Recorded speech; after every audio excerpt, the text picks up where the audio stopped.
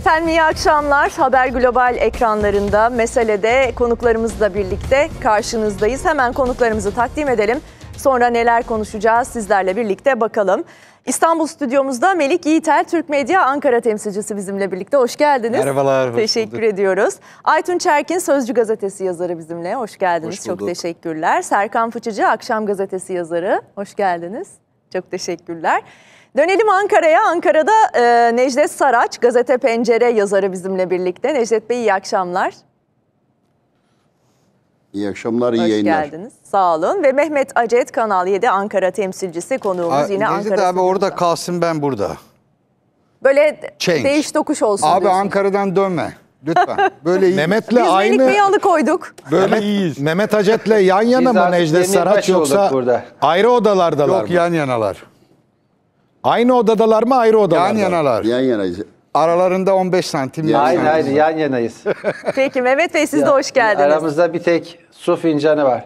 Hoş bulduk. Herkese selamlar. Peki. Teşekkürler. Çok Ne teşekkürler. derler? Kol mesafesi. Efendim şimdi e, 14 Mayıs seçim tarihi olarak netleşti. Cumhurbaşkanı Erdoğan bugün kabine toplantısının sonrasında bir kez daha bunu ifade etti. Yani mecliste bununla ilgili uzlaşı olursa meclisten çıkacak karar olmazsa 10 Mart'ta e, seçim kararını ben yetkimi kullanarak açıklayacağım dedi. Ama dikkat çeken çarpıcı açıklamaları e, İsveç'te yaşananlarla da ilgiliydi. E, hatırlatalım Türkiye'nin Stockholm Büyükelçiliği önünde Kur'an-ı Kerim yaktığı sağcı, radikal sağcı bir isim. E, elbette tüm Türkiye'den, muhalefetten, iktidardan bununla ilgili tepki ve kınama sesleri yükseldi. Şimdi bugün Cumhurbaşkanı Erdoğan aslında Türkiye'nin İsveç'le meselesi neydi hatırlatalım. Hem İsveç hem Finlandiya. Bazı koşulları vardı Türkiye'nin NATO'ya üye olmaları bakımından. Üçlü ahit e, diyebiliriz, ahitname diyebiliriz. E, İsveç'in kendine kendi üstüne düşenleri yapması beklenirken bir o ilk provokatif gösteri Cumhurbaşkanı Erdoğan'a benzetilen kuklanın kullanıldığı. İki şimdi Kur'an-ı Kerim'in yakılması üstelik de e, güvenlik güçlerinin nezaretinde gerçekleştirdi o eylemi o isim Palu'dan. Şimdi Cumhurbaşkanı Erdoğan'ın buna tepkisi sert. E, NATO bizden destek beklemesin dedi. Bu ne anlama geliyor? Bunu daha büyük bir çerçeveden Cumhurbaşkanı Erdoğan'ın açıklamasını izleyelim. Konuklarımızla değerlendireceğiz. Buyurun. Kur'an-ı Kerim'e yönelik bu alçak saldırının Türkiye Büyükelçiliği önünde gerçekleşmesi ise konuyu bizim açımızdan hem dini hem milli bir mesele haline dönüştürüyor. Bu sapkınlığı teşvik edenler veya göz yumanlar hiç şüphesiz sonuçlarını da hesap etmişlerdir. Kalkacaksın, senin güvenlik güçlerin, polisin vesaire onların koruması altında bu ihaneti, bu edepsizliği, bu alçaklığı, bu adiliği, bu namussuzluğu yapacak. Onların korumasıyla da orada ah bak işte biz Müslümanlara ne yaptık diyecekler. Ülkemizin büyükelçiliği önünde böyle bir kepazeliğin yaşanmasına sebebiyet verenlerin NATO'ya üyelik başvuruları konusunda artık bizden herhangi bir hayır haklık bekleyemeyecekleri açıktır. Evet, Cumhurbaşkanı Erdoğan bunu ifade etti. Müslümanların dini inancına saygı göstereceksiniz. Eğer hak ve özgürlüklere bu kadar saygılıysanız, eğer göstermeyecekseniz kusura bakmayın. NATO'ya üyelik sürecinde bizden destek göremeyeceksiniz dedi. Net bir biçimde ifadesini de duyduk. Benzeri biçimde e, Bugün o açıklamaları da takip ettik. Milli Savunma Bakanı Hulusi Akar'dan da İsveç'i hedef alan değerlendirmeler vardı. Onu da görelim. Sonra Türkiye'nin NATO'dan e, çıkarılmasının konuşulması gerektiğini söyleyen arka arkaya ve bu söylemlerin aralarının e, sıklaştığı takvim olarak bir e, süreç var. O açıklamalara bakacağız. Kim ne demiş? Bugün Sayın Cihat Yaycı da bunu e, kaleme almış köşe yazısında. E, bir derli toplu ona da bakacağız. Acaba önümüzdeki süreç ne getirebilir? Bunu konuşacağız. İzleyelim. İsveç'in veyahut da Finlandiya'nın düşmanı değiliz. Bunlar NATO'ya girmesine karşı değiliz. Onlar kendi ülkelerinin savunması ve güvenliği için bizden destek istiyorlar.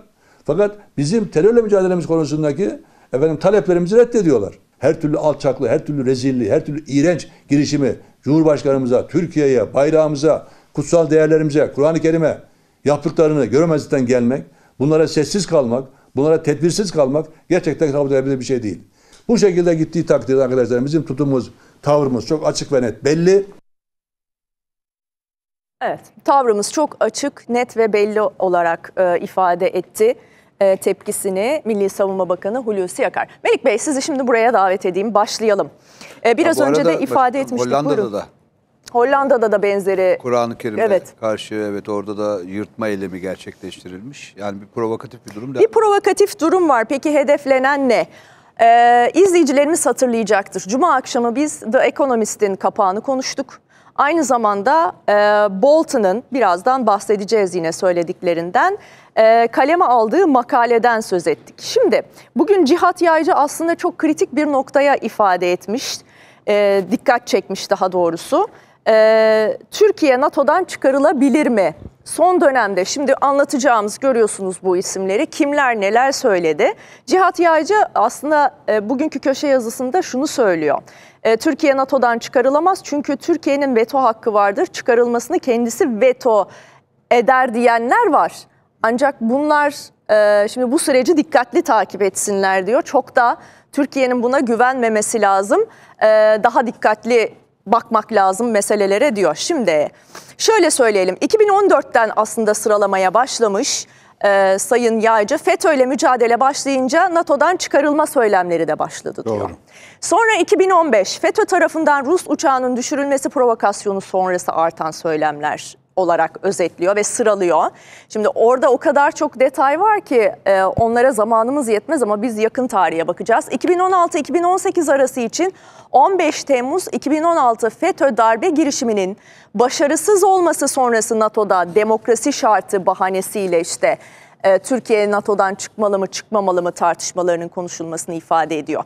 Gelelim 2019'a 2019 Türkiye'den Türkiye'nin NATO'dan çıkarılması konusunda artık kitaplar ve akademik makalelerin yazılması zamanı hatırlatmasını yapıyor. Yine aynı sene Barış Pınarı Harekatı nedeniyle Türkiye'nin NATO'dan çıkarılması söylemleri gündeme geldi diyor. 2020-2021 Avrupa'da Türkiye NATO'dan çıkarılsın kampanyalarını gördük diyor. 2022-2023 Finlandiya ve İsveç'in NATO üyeliğine karşı tavrı ve Türkiye'nin bu tavrı ve Rusya ilişkileri nedeniyle Türkiye'nin NATO'dan çıkarılması söylemleri ve 2021-2023 Türkiye'nin hukuk ve anlaşma tanımaz Yunanistan'a gösterdiği tepkiler sebebiyle NATO'dan çıkarılmasına dair söylemler. Yani her fırsatta 2014'ten bu yana sürekli aynı söylem üzerinde duruluyor e, Batı kanadında NATO'daki bazı Bu e, bunda çevrelerde. Özellikle mesela son dönemde e, Rusya ile Rusya'ya yaklaşma. Evet. Rusya-Ukrayna savaşında Türkiye'nin ben taraf tutmuyorum.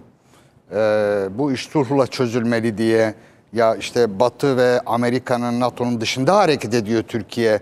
Böyle bir kafa konforu olur mu tartışmaları bunların hepsini üste koyduğumuzda özellikle son bir yılda bu çok arttı. Evet şimdi, dört tane çok özür şey- dilerim şunu da söyleyeyim 2022-2023 artık diyor ki e, Cihat Yaycı Paşa Cihat Yaycı da Mavi Vatan'la ilgili Evet. ismini çok duyduğumuz e, o konuda imzası olan bir e, isim ve Türkiye'nin NATO'dan çıkarılmasına dair tüm bahanelerin kullanıldığı dönem 2022-2023 için diyor. Hadi birlikte Ama bakalım. şöyle şimdi önce e, yani iki bölüme ayırmak lazım. Buyurun. Bir şu dördü yani NATO'nun o e, ABD Avrupa Kuvvetleri eski komutanı Emekli Or Amiral James Stavridis. Savridis ne diyor? Erdoğan NATO'yu Türkiye ve Finlandiya ile İsveç arasında tercih yapmak durumunda bırakmamalı. Yani İsveç ve Finlandiya'yı tercih ederiz, sizden vazgeçebiliriz diyor. Evet. Bu adamı ciddiye almak gerekir mi bilmiyorum ama almak gerekir. Sonuçta Michael Rubin. Evet ya bu biraz deli. Yani FETÖ'yü savunuyor, PKK'yı savunuyor. Bu biraz meczup. Ama sonuç itibariyle bunun da söylediği bir yere tekabül ediyor. Ya ben kişisel olarak bunu ciddiye almıyorum. Ya birçok açıklamasına bakıyorum. Normal bir akıl sağlığı değil bu. Bu meczup. Ama yani. bir, birileri tarafından kullanılıyor Ha, ya da bir bravo. aparat olarak Bravo. e, bir Tam onun için. görev görüyor Ha, bizim için o anlamda. Kim bunu konuşturuyor? Yoksa adam meczup yani. Tipten de belli. Meczup yani. Şimdi diyor ki Türkiye blöfünü görme zamanı geldi. Türkiye önemli bir NATO üyesi değildir. Evet. Öyleymiş gibi davranmayı bırakın. Tavsiyede Yani. Türkiye'yi gönderin. Şimdi bu adam önemli bir adam. Trump'ın güvenlik danışmanı ve hala Amerikan derin devletinde çok önemli bir isim olarak görülür. Evet, eski ABD Ulusal Güvenlik Danışmanı John Bolton Aynen. ve ABD'de de derin bir isim. Derin bir isim yazdıkları çok ciddiye alınır. Çünkü bu Amerikan müesses nizamını önemli ölçüde temsil eden bir isim olarak bakılıyor. O bakımdan mesela bunu söylediği önemli. Ne diyor? Adil seçim yapılmazsa Türkiye NATO'dan çıkarılsın. Türkiye bir NATO üyesi ama öylemiş gibi davranıyor, davranmıyor. Türkiye'nin ihraç edilmesi veya üyeliğini askıya alması ciddi bir şekilde düşünmeli. Bu uzun bir makalenin özeti aslında. Makalede de uzun uzun Türkiye neden NATO dışında bırakılmalıyı anlatıyor. Evet. Uzun bir makale. Sonra geliyoruz. Önceki açıklaması en büyük tehdit diyor. Evet. Hani NATO içinde ama aslında NATO, NATO için büyük içindeki bir en tehdit. büyük tehdit diyor Türkiye. Bu için. dört açıklama Türkiye NATO üyeliğine dair gözdağı isteniyor. Yani Bolton iki açıklaması, ABD Avrupa Kuvvetleri Komutanı ve Michael Rubin. Şimdi bu iki açıklama ise tercihinin Yunanistan olması gerektiğini söylüyor. Bu açıklama o anlamda önemi var. Bu e, yani bu adam Amerikan Yahudi Ulusal Güvenlik Dış, Politika, Politika Direktörü. Ya, Direktörü. Yah- Yahudi lobisinde önemli bir isim. Diyor ki Dede Ağaç'la NATO Türkiye'yi bypass ediyor. Böyle düşünüyorlar. Amerikan Büyükelçisi de diyor ki Yunanistan'la savunma işbirliğimiz NATO'nun doğu kanadını güçlendirmeye yönelik. Nedir bunun alt metni? Türkiye'ye gerek kalmayabilir. kalmayacak şekilde bir pozisyonlanma. Aynen. Hatta şunu bile tartışıyorlar. Şu anda Türkiye'de NATO'yu önemli ölçüde temsil eden ciddi bir yer yok. İşte Amerika'yı temsil eden işte İncirlik Üssü falan onlar da pekala buraya taşınabilir. Çünkü Dede Ağacı biz işte Bolca üst var zaten. Bolca üst var. Artık Şuraya Yunanistan. geçeyim mi? Bu bana desteği Tabii tabii buyurun. Nasıl rahat edeceksiniz? Onun dışında da NATO'nun eee üsleri olmayan yerleri de, Amerikan üsleri olmayan yerleri de Yunanistan'da kullanabiliyorlar. Bir yasa çıkardılar. Dediler ki "Ben NATO Amerikan üssü olarak tanımlanmayan yerleri bile ihtiyaç olması halinde kullanabileceği. Yani dolayısıyla bütün Yunanistan sizindir. Orada yoldaş Çipras çok direndi. Mecliste de direndi. Çıktı açıkladı. Dedi ki bir süre sonra biz ay Türkiye ile karşı karşıya gelirsek bunlara güvenmeyelim. Kendi başımıza savaş, savaşmak zorunda kalacağız. Yapmayın. Yani bu emperyalizme yol açmak, emperyalizmi öne açmaktır dedi. Dinletemedi Çipras ve bunu Miçotakis yaptı. Dolayısıyla bütün bunları üste koyduğumuzda NATO kartı üzerinden Türkiye'yi sıkıştırmak. Ama bana sorarsanız, bana sorarsanız bütün bunlar tamamen seçime dönük. Öyle mi diyorsunuz? 14 Mayıs seçimine dönük. 14 Mayıs seçimine dönük ne kadar irtifa kaybettirebiliriz? Erdoğan'ın ne kadar alanını kapatabiliriz? Yani hem bu açıklamalar hem İsveç'teki eylemlerin toplamı Erdoğan'ın alanını daraltmaya yönelik. Ters Yani etki yapıyor ama. Zaten açık açık söylüyor bak. John Bolton ne diyor? Adil seçim yapılmazsa Türkiye NATO, NATO'dan Türkiye bir. NATO üyesi ama öylemiş ki ya Türkiye'nin devamında ne diyor? Yani aslında Diyor ki- e, yani çok özür dilerim. Şöyle söyleyelim. Bu e, Bolton nerede ifade ediyor bunu? 16 Ocak'ta The Wall Street Journal'da Uzun çıkan bir makale o. Hatta e, Erdoğan seçimi kazanırsa Türkiye'nin NATO'dan çıkarılmasını öneren yazısında bunu söylüyor. şimdi adamın Uzun bir aslında makale. Ben not The ettim. Economist dergisi de 19 Ocak tarihli işte Türkiye felakete sürükleniyor. Türkiye diktatörlüğün eşiğinde olabilir e, kapaklı o manşeti açtığı e, attığı e, sayısında da seçimler öncesinde Biden ve müttefiklerinin Erdoğan'a daha sert bir mesaj vermesi gerektiği iddiasında ve savunuyor. Şimdi bu John Bolton'un söylediği ben o bölümü çıkardım. Diyor ki yani Türkçe çevirisini okuyorum. Diyor ki Türkiye NATO üyesi ama üye gibi davranmıyor. İhraç edilmelerini veya askıya alınmalarını ciddi bir şekilde düşünmek, yaklaşan seçimlerin, dikkat buyurunuz, yaklaşan seçimlerin çıkarlarını vurgulayarak Erdoğan'ın seçimi kazanmasını bozacak, zorlaştıracak, muhalefet adaylarına da şans tanıyacak bir girişim olur diyor. Hani muhalefet onlardan medet ummaz. O onun kendi terbiyesizliği. Türkiye'deki muhalefet böyle bir şeyden medet ummaz da o kendince diyor ki Erdoğan'ın seçimi kazanacak şekilde bu zorlaştıracak yani kazanmasını engelleyecek ve muhalefet adaylarına gerçek bir şans tanıyacak. Yani diyor ki e, ciddi bir şekilde düş- yaklaşan seçimlerin çıkarlarını vurgulamak durumundayız diyor. Yani Erdoğan'a kazandırmamak. Bununla ilişkilendiriyor NATO. Şimdi do- dolayısıyla bütün bunlara baktığımızda tamamen seçime dönük.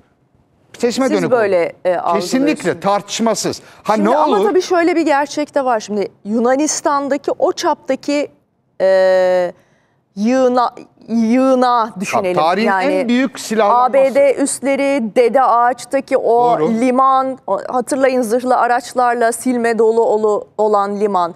Şimdi askeri yorumlara da baktığımızda aslında NATO böyle e, Ukrayna sınırından itibaren Yunanistan'ı da içine alan bir hat çiziyor ve bu hattın dışında kalıyor Türkiye, doğusunda kalıyor. Doğru. İleriye dönük bir plan e, ve Türkiye'nin işte Finlandiya ve İsveç konusundaki tavrı onlar açısından bir koza dönüştürülebilir mi bu süreçte? E, elbette öyle. Zaten bakın mesela diyor ki ne diyor? Dede Ayşe NATO Türkiye'yi bypass etti. Yani ihtiyacımız yok diyor adam. İhtiyacımız yok. Fleck ne diyor? NATO'nun doğu kanadı güçlendirmeye dönük diyor Yunanistan. Yani Türkiye artık yedeklemeye gerek yok. Ve benim dediğim o makalelerde Türkiye'deki NATO üsleri ve Amerikan üslerinin artık bir önemi yok. Yunanistan ihtiyacı karşılıyor demeleri Türkiye'yi gözden çıkaralım. Şimdi bu Yunanistan bölümü başımıza artmaya devam edecek. Yani seçim sonrası ister muhalefet kazansın, ister Erdoğan kazansın, Yunanistan meselesini önünde masada bulacak. Bu Yunanistan meselesi çok uzun vadeli bir yatırım çünkü. Yani oradaki üsleri, bedelsiz verilen silahlar, bedelsiz verilen zırhlı araçlar onlar böyle birkaç aylık bir iş değil. 14 Mayıs sonrası da Türkiye'nin uğraşacağı bir konu. Yani Akdeniz, Doğu Evet. Akdeniz meselesi, Ege meselesi, Kıbrıs meselesi, Yunanistan üsler meselesi, silahlanma. Bunlar Türkiye'nin önünde zaten şey böyle tekil olarak çok kalın bir dosya olarak duruyor.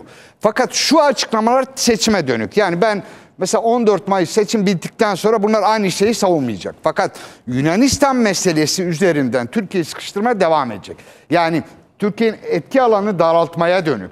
Türkiye'nin içine kapatmaya dönük hamleler devam edecek. Sayın Hulusi Akar'la birkaç hafta önce bir araya geldik. Bunu açık açık sorduk. Dedik ki ya bu hani Yunanistan'a sürekli böyle yığınak yapıyorlar, üsler yapıyorlar falan. Siz muhataplarınızla görüştüğünüzde ne diyorlar size?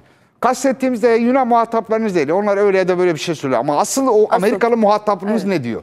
Dedi ki bize söylediği şey çok açık bir şekilde. Diyor ki ya siz dert etmeyin. Sizin için bir tehlike yok. Biz tamamen olası bir Rusya blokajı, blokajını kesmek ya da Rusya'ya harekete geçecek şekilde eğer olursa kuşatmayı kırmak için hazır tutuyoruz. Tatmin oldunuz mu dedik. Dedi ki yani bir asker olarak tatmin olmak mümkün değil. Kal, ben bir asker olarak bütün tedbirleri düşünmek zorundayım. Şüpheyle yaklaşmak zorundayım. Dolayısıyla her ne kadar Amerikalı muhatabım bunu dese bile biz bütün gelişmeleri an ben takip ediyoruz. Ya bir de Melik bugüne Karada, kadar Amerika bugüne kadar Amerika kime verdiği hangi sözü tutmuş ki güvenelim Aynen öyle. yani. O yüzden de mesela sonrasında birkaç gün sonra e, şeyde e, bir adada e, bulunan askeri üsler ve uçakların hani kilit attılar ya Evet. kaç tane adadan kaç tane uçağın kalktı ve kilit atıldığını tek tek fotoğraflı görüntü biz NATO'ya ilettik. Bu, niye bunu anlattım? Yani Türkiye Yunanistan'ın her adımını ama her adımını takip ediyor. İşini Suçüstü yapıyoruz. zaten. Suçüstü yapıyoruz bunlara yani. Ya bu, bu tabii yani dolayısıyla Yunanistan meselesi biraz bu başlıktan ayrı ama NATO üzerinden Türkiye'yi e, sıkıştırma çabası devam edecek. Biraz daha el yükseltecekler seçime doğru ama sonuç itibariyle e, yani e, Yaycı Paşaca yaz Ya- Yaycı Paşa da yazmış. E, NATO'dan sizin üyeliğinizin atılması için çok somut şeyler gerekiyor. Bir, ikincisi bütün NATO üyesi ülkelerine evet demesi gerekiyor. Gerekçe ne gösterecek? Ne gösterecek? Yani işte bakın. YPG silah verdiniz bilmiyoruz de biz ki, kızdık e, diye? Eski emekli e, or amiral, eski komutan diyor ki Erdoğan NATO'yu Türkiye ve Finlandiya ile İsveç arasında tercih yapmak Tamam. Çok açık zorunda şekilde bırakmamalı. diyor ki Finlandiya ile İsveç'i te- tercih ederiz sizi etmeyiz. O, onu demeye getiriyor. Bakın şeyin Sayın Çavuşoğlu Amerika'da E, şurası yanlış anlaşılmasın. Sayın Yağcı diyor ki Türkiye NATO'dan çıkarılamaz. Çünkü Türkiye'nin Hah. veto hakkı vardır. Çıkarılmasını kendisi veto eder diyenler maalesef duruma gerçekçi yaklaşmamaktadırlar Hayır, diyor. Yani yok. o öyle Ben bir çetele çıkarmış ki Yok, yok, ben e, katılıyorum. 2014'ten Yaycı Paşa- itibaren aslında süren bir çaba bu. Şu anda daha da e, bu açıklamaları arka arkaya İşte görmeye orada başladık. iki tane problem var. Yani Yaycı Paşa ne söyledi? Bir, şimdi İsveç ve Finlandiya'yı biz her halükarda alalım diyorlar. Ama NATO'nun müktesebatı gereği bir üye bile hayır derse siz alamıyorsunuz. Dolayısıyla Türkiye'yi nasıl bypass edeceksiniz? Birinci mesele bu. Yani Türkiye'ye rağmen üyeliği aldığınız anda NATO'nun iştahatını nereye koyacaksınız ve NATO'nun o zaman ne anlamı kalacak? İkinci, velev ki Türkiye diremeye devam etti ki bugün Cumhurbaşkanı Erdoğan net bir şekilde söyledi. İsveç başının çaresine baksın hatta şey dedi. "Ee, bu İslam karşıtları ve terör örgütleri İsveç savunsun dedi. Çok açık bir şekilde. Şimdi dolayısıyla siz Türkiye'nin bu vetosuna rağmen teknik olarak İsveç üyeliği almanız mümkün değil. Yeni bir iştahat uydurmanız gerekiyor. Çünkü iştahat çok net. Diyor ki bütün üye ülkeler onaylayacak diyor. Kendi e, iç içtihatlarına göre onaylayacak. Şimdi biz diyoruz ki bu uluslararası bir sözleşme niteliğindedir. Dolayısıyla benim üyeliği kabul etmem için meclisten bunu geçirmem lazım diyor. Evet.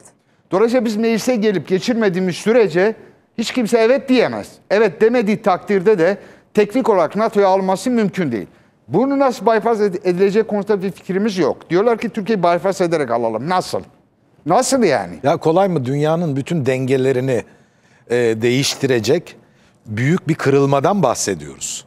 Ya böyle bir şey e, göze alınabilir bir durum mu? İşte onu nasıl göze alacak? Yani bunun Yani Çin'i o- var, Rusya'sı var, e, Hindistan'ı var, şusu var, busu var.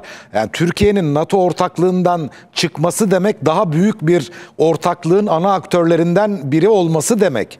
Yani tamam ben seninle ortaklığı bozarım ama Bir iki adım öne gelebilir misiniz? Hah, benim? tabii. yani bu öyle kolay Biraz bir daha. mesele değil. Hadi Türkiye'yi NATO'dan çıkartalım. Sen tamam Türkiye'yi e, ortaklıktan çıkarıyorsun ama bu sefer Türkiye'yi karşına almış oluyorsun. Kimlerle beraber? Çin'le, Rusya'yla, şunla bunla. Üyelikle çıkaramazsın Yani- ya böyle bir şey olamaz.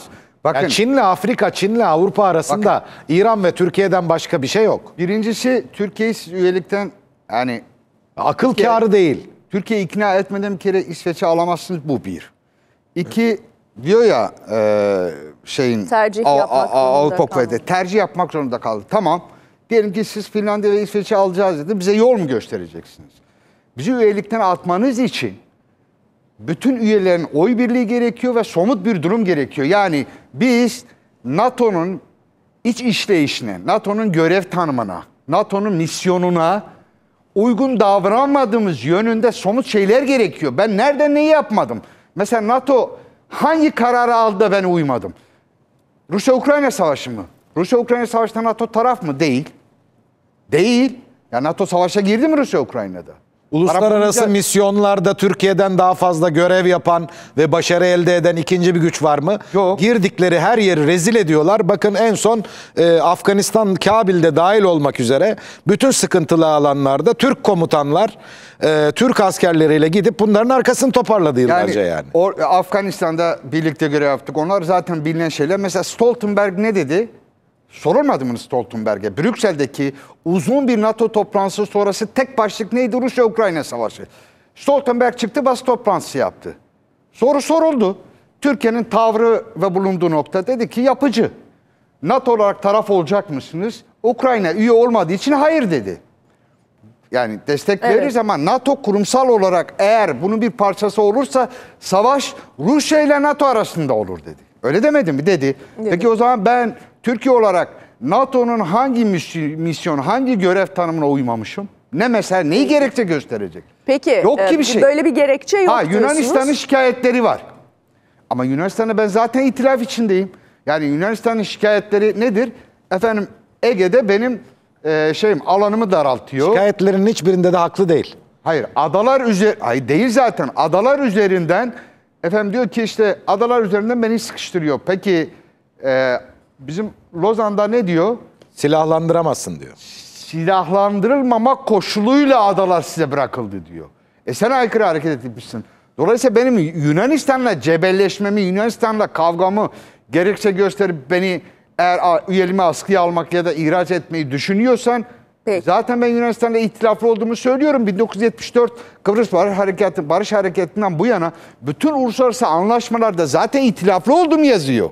Peki. İtilaflı oldum yazıyor. Değerlendirelim hep birlikte. Çok teşekkür ederim. Aytunç Bey buyurun ne görüyorsunuz arka arkaya bu açıklamalarda? Ya birincisi- Ve Sayın e, Yarcı'nın NATO da sıralamasında NATO NATO'nun detaylar vardı. Buyurun. Evet evet NATO'nun kendi e, o sözleşmesinde e, Türkiye'yi çıkarma yetkisi var mı? Yok. Teknik olarak mümkün değil. Değil. Yok öyle bir durum yani. Kesinlikle. Bir adını koyalım. NATO'dan çıkaramaz bizi. Ee, o yüzden e, bu açıklamaların bir kıymeti harbiyesi yok. Baktığın zaman hani NATO'dan çıkaralım vesaire.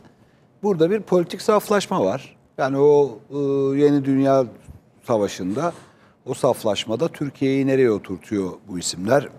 Amerika nereye oturtuyor? Ee, o yüzden baktığımız zaman Fransa kendisi çıkmak istemişti o, o De Gaulle döneminde vesaire.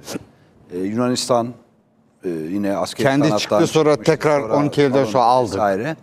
Yani o yüzden baktığımız zaman e, bu açıklamalar bize yabancı açıklamalar değil. Yani e, Mayıs 2018'de e, Amerikan Derin Devleti'nin en önemli kuruluşudur e, CFR e, ve Dış İlişkiler Konseyi ne dost ne düşman tanımını yapmıştır Türkiye için. Ne dost ne düşman derken Türkiye'nin YPG konusundaki tavrı, Fethullah konusundaki tavrı vesaire bunların altına koyup ben Türkiye'nin bundan sonra e, bir müttefikten çok işte zorunlu bir ilişki olduğunu anlatan e, makaleler ve kapak dosyaları da yapılmıştır düşünce kuruluşlarından. Bu isimlerden de bu şekilde açıklamalar geliyor. Burada e, şimdi garip olan şu, e, bu kadar analiz yapan e, işte e, Jonathan Ruh, Jeffrey Flake, e, Bolton, Rubin, şimdi bunların hepsi Türkiye'de son e, 10 yıllık e, süreçte e, özellikle e, ve 2016'daki o e, NATO'cu darbe girişiminin arkasından Türkiye'de ciddi bir Batı karşıtlığı olduğunu ve ABD karşıtlığı olduğunu biliyorlar. Yani e, o anlamda Türkiye'deki işte e, insanların yani o karakter olarak da zaten duygusal anlamda bir e, yapımız var ve bizim Amerika'ya, Batı'ya olan tavrımız net. E, Şimdi bu açıklamaları ve bu yazıları kaleme alırken e, Erdoğan'a zarar mı veriyorlar, Erdoğan'ı güçlendiriyorlar mı? Mesela. Şimdi bu açıklamayı okuyan en sıradan vatandaş bile bu kadar iç işlerine müdahaleyi e, kabul Yediremez. etmez. Etmez. Yani niye etsin ki? Şimdi e, Meral Akşener'in bu yönde bir e, değerlendirmesi vardı. e, Evet. Ya ben de yani sonuçta bakıyorum şimdi e, kim kabul edilebilir, e, edebilir Cumhurbaşkanı'nın ismi ne olursa olsun. Bakın ismi ne olursa olsun bir idam yani böyle sallandırılması değil mi? Veya ekonomistin Türkiye'deki diktatörlük ve analizlerin imzasız bir analiz yapılması. Kapak dosyası hazırlıyorsunuz, imza yok. Kapak dosyasında İmza yok ve zehir zemberi. Evet ve ama yani onların hepsi İç savaşta tehdit Hayır ediyor. onların hepsi de şu. Yani Erdoğan'a hedef Türkiye'den yazılmış ama gibi. Türk bayrağı da var orada yani. Hayır var. Ee, Türkiye'den yazılmış gibi. Ayrıca çünkü içeriden bakış açısıyla yazılmış. Evet, Türkiye'deki bir gazeteci e, yazıyor. bir e, değildir bence. 4-5 daha gazetecidir. fazladır.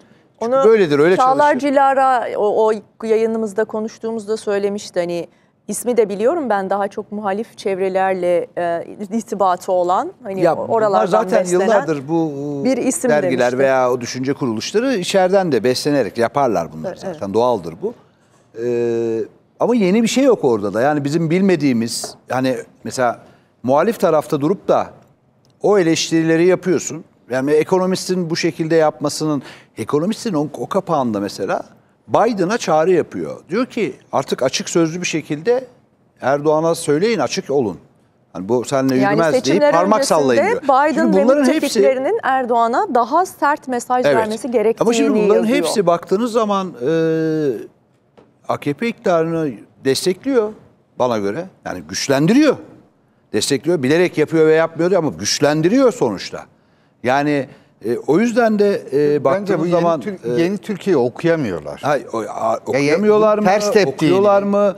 Hayır, bilerek mi? Ben burada an- anlamıyorum yani. Ben burada e, bir iktidarın kuşatmak tırnak içinde kuşatmaya çalışılacaksa ben seyrederim.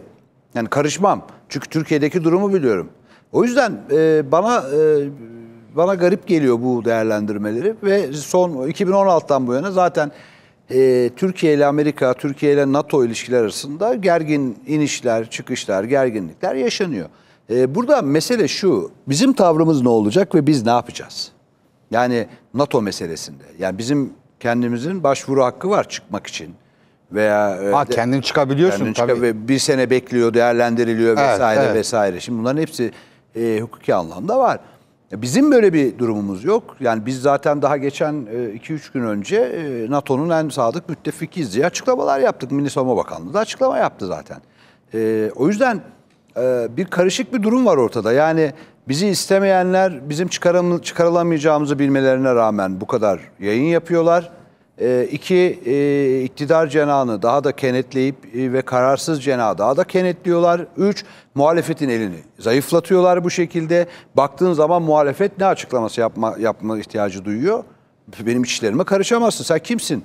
Deyip Evet. İktidar desteklemek zorunda burada. Beraber hareket etmek Özgür zorunda. Çünkü Özel bu diyor bilinç ki- meselesi. Yani bu Çok bilinç özür dilerim. CHP'den Özgür Özel diyor ki ne NATO, NATO ne Evet. ABD ne başkaları ülkemize müdahale edebilir. Müdahaleyi aklından bile E geçiremez tabii dedi. Biden seçilmeden önce daha e, aday adayken ne yapmıştı açıklama yapmıştı. Muhalefeti destekleyelim dostlarımız bilmem ne vesaire nasıl tepki çekmişti. Ve e, şimdi bunların hepsini arka arkaya koyduğumuz zaman e, ben burada e, bunların e, ister ve ister istemez e, iktidarı güçlendirdiğini düşünüyorum. Yani Peki. o yüzden de ama bizim de bu konuda ikircikli tavrımız var. Yani bizim şimdi anti-Amerikan görüntümüz var, anti-NATO görüntümüz var ama bunlar ha görüntüde. Yani biz o ittifakın üyesiyiz ve hep e, iyi bir şekilde yürütmek istiyoruz e, bu ilişkileri ve çıkmak gibi bir derdimiz yok. Bu iktidarın öyle bir derdi de yok. Yani Amerika ile zaten çok ciddi kavga etme derdi de yok. E, o yüzden e, bence önümüzdeki işte bu 14 Mayıs'tan sonra e, bu ilişkiler daha da normalleşir diye düşünüyorum ben.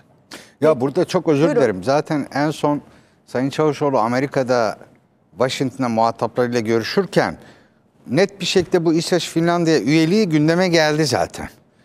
Amerikalılar bu işi kolaylaştırın dediler. Orada Sayın e, Çavuşoğlu Amerikan Türkiye ilişkileri üzerindeki o problemleri gidermek hatta daha açık haliyle F-16 veririz ama işte İsveç ve Finlandiya'nın üyeliğini de evet, Evet, deyin. evet, evet, F-16'da Bir dayatma ol- içinde olamazsınız. için. Ha, ikisi çok ayrı konu. Biz F-16'sını da ayrı müzakere ederiz. İsveç Finlandiya'yı NATO düzleminde müzakere ederiz dedi.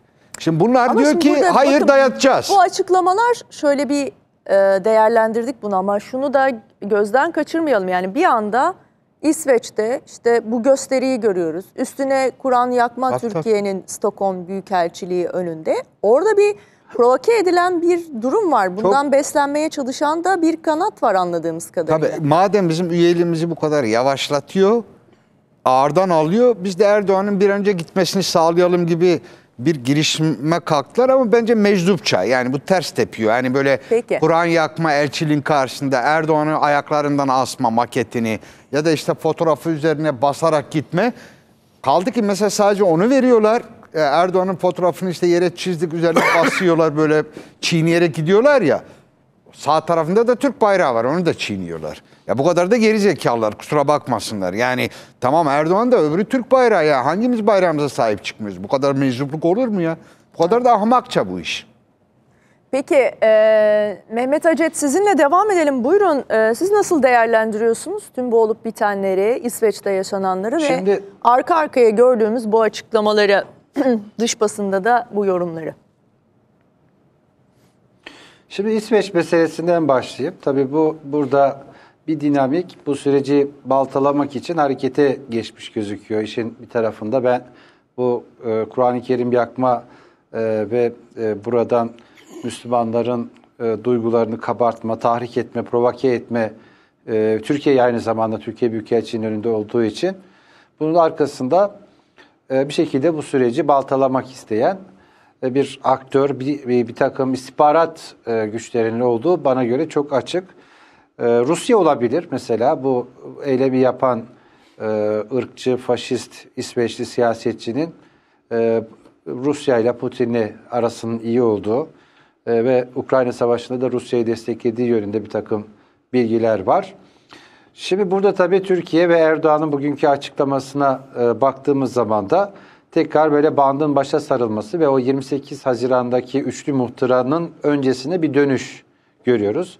28 Haziran e, 2022'de ne olmuştu? Türkiye, Finlandiya ve İsveç e, NATO Genel Sekreteri Stoltenberg'in de katılımıyla üçlü bir muhtıra yayınlamışlardı. Orada da tabii işte bir, bir takım taahhütlerde bulunmuşlardı. Şimdi mesela o muhtıra içerisinde geçen bir cümle PKK, YPG ve Türkiye'de FETÖ olarak tanımlanan örgüte destek sağlam, sağlamayacaklarını bu iki ülke taahhüt etmiş idi. Yani bizde hep e, tekrarlanıyor ya bizim tek isteğimiz, beklentimiz e, bu ülkelerin bu taahhütlerini yerine getirmesi. Aslında biraz bu, bu cümle burada kastediliyor. Yani PKK, YPG ve Türkiye'de FETÖ olarak tanımlanan örgüte destek sağlanmayacak e, ifadesi burada.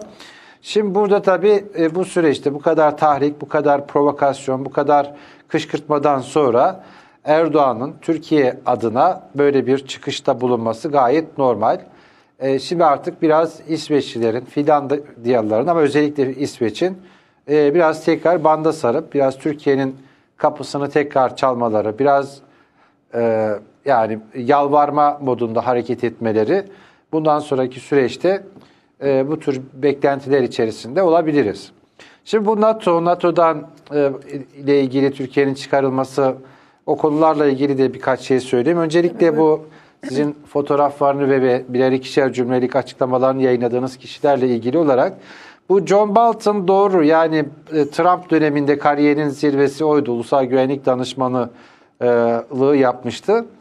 Ama çok da böyle ciddiye alınan yani Türk-Amerikan ilişkilerinde söyledikleri e, işte Amerikan tarafının görüşlerini ya da atacağı adımları temsil ediyor diye düşünmek de yanlış. Daha önceden zaten radikal bu neokonların e, sözcülerinden bir tanesi olarak bilinirdi. Ben 2007'de bir Amerika'ya gittiğimde orada bir think tank kuruluşu ve işte aşırı sağcı, neokon, e, İran karşıtlığıyla bilinen bir think tank kuruluşunda e, görev yapıyordu. Sonra devamında Trump'ın da aslında çok istemeyerek biraz fiziki görünümü bu post bıyıkları falan onlara da takık olduğu yönde bir takım haberler de çıkmıştı o dönemde. Ve kovdu Trump bunu. Yani kendi isteğiyle görev süresi dolduğu için falan değil. Bildiğiniz kovdu Trump. Yani görevden ayrılması da o şekildedir. Dolayısıyla burada yani işte Türkiye'yi NATO'dan çıkarmakla tehdit ederek muhalefete destek verelim derken aslında tabii bir tarafıyla Amerika'da pek çok kişi kesimin e, iç sesini dışa vurmuş oluyor. O tarafıyla e, aslında e, dürüstçe bir yaklaşım yani bunu e, Onların açısından o, o, diyorsunuz. Orasından baktığımız zaman bunu görebiliyoruz. Evet evet yani öyle bir tarafı var. Ee, şimdi bunların hepsinin tabii Melike şurada katılıyorum. Yani se- seçimlerle ilgili yani 14 Mayıs'a kadar muhalefete bu seçimi nasıl kazandırırızın çe- çeşitli fikir egzersizleri bizim şu anda karşımızda gördüğümüz. Yani The Economist diktatörlüğün eşiğinde derken de aslında maksat burada seçimler üzerinde bir etki üretmek istiyor. Bu seçimlerde iktidara karşı e, bir pozisyon alıp Şimdi orada e, muhalefeti desteklemek için ne bu başlığı açıyor. Ki Sayın e, İyi Parti lideri Akşener de onu ifade etmişti. Yani aslında güçlendiriyor bu söylemler. Yani daha da destek e, olunmasına sebep oluyor iktidara ve Cumhurbaşkanı Erdoğan'a. E, sonuç Ters onların da beklediği Hanım. gibi değil, ters tepiyor diyor. Evet evet. Şimdi şöyle doğru yani onların tepki göstermesi de e, dikkate değer. Ama onlar biraz yani müttefikler olarak tepki gösteriyorlar. Yani biz e, klasik olarak yani batıya yakın bir politika izleme vaadinde bulunan e, isimler e, bu Ukrayna-Rusya savaşında Sayın Akşener'in nasıl bir pozisyon aldığını hepimiz biliyoruz. Yani geçen sene savaş başladığında çok net bir şekilde e, biz yani burada şu anki denge politikası yerine e, Batı ile birlikte, Batı ne derse onlarla birlikte hareket etmeliyiz biçiminde bir yaklaşımı olmuştu Sayın Akşener'in. E, Sayın Kılıçdaroğlu da o dönemde yine mesela e, S-400'lerle ilgili bir takım e, açıklamalar yapmıştı. O da aslında rengini belli etmişti yine e, bu kriz döneminde, savaş henüz başlamadan e, önce. E, o da yine aynı şekilde bir yani Batı ittifakına yakın bir çizgiyi desteklediği e, anlamına geliyordu. Şimdi burada bu işlerin hepsinin başında e, Başak Hanım 2019'da e, Joe Biden'ın New York Times editörlerine verdi. Yani bu iç sesin dışa yansıması anlamında. Sonra başkan seçilince tabii bir daha o türden şeyler söylemedi ama e, biraz taç giyen baş akıllanır hesabı. Sonuçta başkanlık görevine gelince e, Türkiye gibi bir ülkeyle ilgili o kadar açık gerçek görüşleri yansıtmak kolay olmayabiliyor. Ama gerçek görüşleri şimdi seçime gidiyoruz. Bu, bu nedenle hatırlamak daha anlamlı olabilir. Şöyle demişti, bence yapmamız gereken Tayyip Erdoğan'a karşı farklı bir yaklaşım izlemek. Muhalefetin liderleri desteklediğimizi açık şekilde belirtmeliyiz. Ee, onlarla yani muhalefetle doğrudan iletişimde olup hala var olan unsurlarını destekleyip onları Erdoğan'ı mağlup etmeleri için cesaretlendirebiliriz. Ama darbeyle değil, darbeyle değil, seçimle. Şimdi bunu Joe Biden e, muhalefetteyken daha doğrusu yarışa girerken demokratların adayı olmak için yani aday adayı iken 2019 sonunda biraz da e, bu yani Erdoğan karşıtı Amerika Birleşik Devletleri'ndeki havanın desteğini almak için böyle bir çıkışta bulunuyordu Joe Biden. E sonra tabii yani e, Türkiye'de işte o tarihten sonra bu seçim dönemine şu anda girmiş durumdayız. Bu John Bolton'un açıklamaları, e, The Economist'in e, attığı, kap, yaptığı kapı. Bir de The Economist bunu hep yapıyor. Yani 2011 seçiminde de ben geçenlerde baktım, buldum tekrar.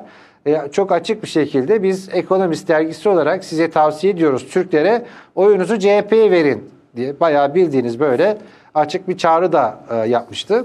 Bu The Economist dergisi küresel ekonomik e, vesayet sisteminin, küresel finans çevrelerinin e, bu yani İngilizce'de mouthpiece olarak nitelendirilen sözcü yani tam an, anlamını tam karşılamıyor belki ama böyle anlamak daha doğru olur. Yani onların e, şeyini yansıtan, sözcülüğünü yapan öyle diyeyim. Şimdi çok kelime e, şeyini aramaya gitmeyeyim. E, bir bir yayın organı olarak hep bilir. Burada başka başka faktörler de var. Yani Türkiye'nin ekonomide yaptığı tercihlerin e, Türkiye'deki bu işte sıcak para e, hakimiyetinin olduğu dönemde e, Türkiye üzerinde bir şantaj aracı olarak da kullanılabiliyordu o model. Dolayısıyla dış politika adımlarını atarken pekala e, işte bu ekonomi e, Türkiye'nin önüne şantaj aracı olarak getirilebiliyordu. Nitekim 2018'de Trump bunu yapmıştı. Yani o zaman elinde böyle bir enstrüman vardı. Ekonominizi mahvederim dedi. Bir açıklama yaptı. İşte dolar 4,5'tan 7.24'e kadar falan yükseldi. Şimdi bu araç da biraz ellerinden gitti. Dolayısıyla ne yapabiliriz? Peki. Yani burada muhalefete desteğimizi nereden nasıl gösterebiliriz sorusunu sorduklarında akıllarına NATO geliyor.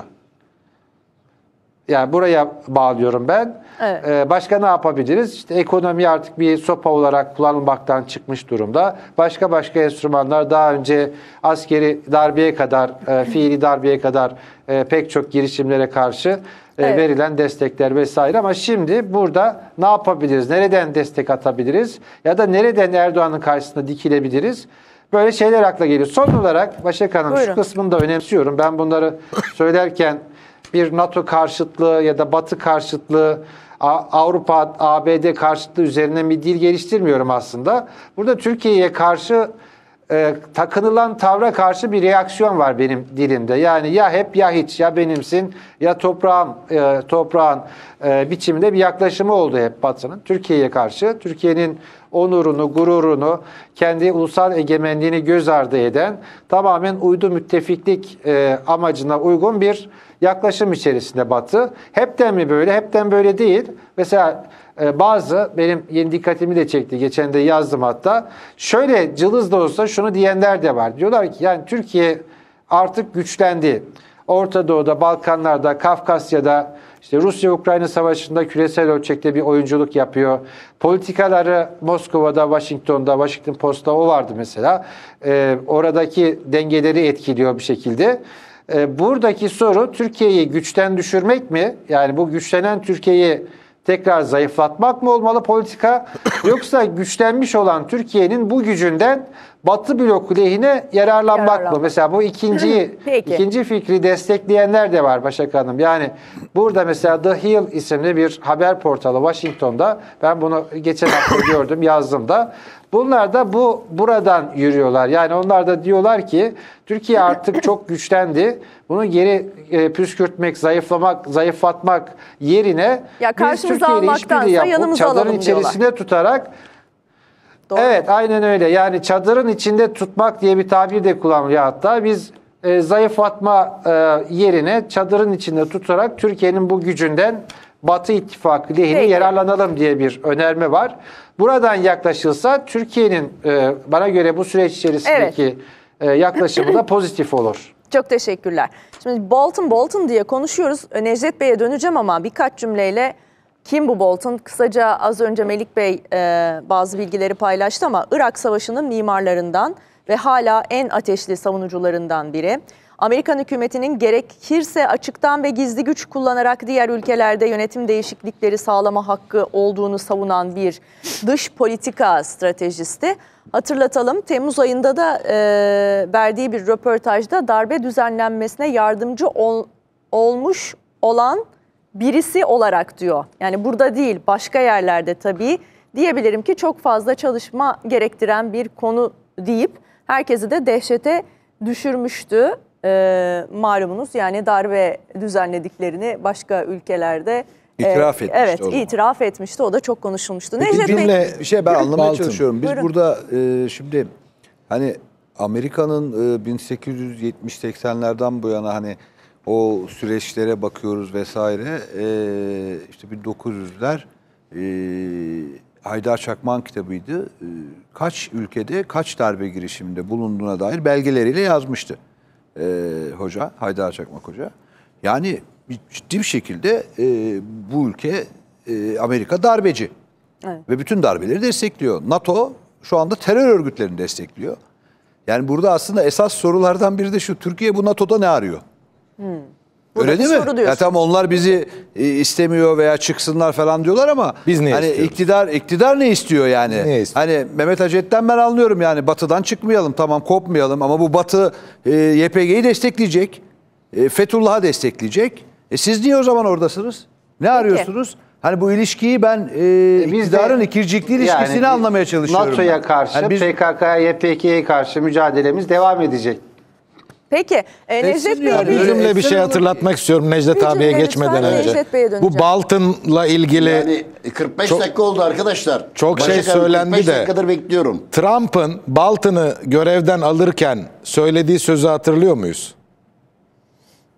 Yani ben söylemiyorum tırnak içinde Trump'ın sözünü hatırlatıyorum. Kusura bakmasın seyirciler.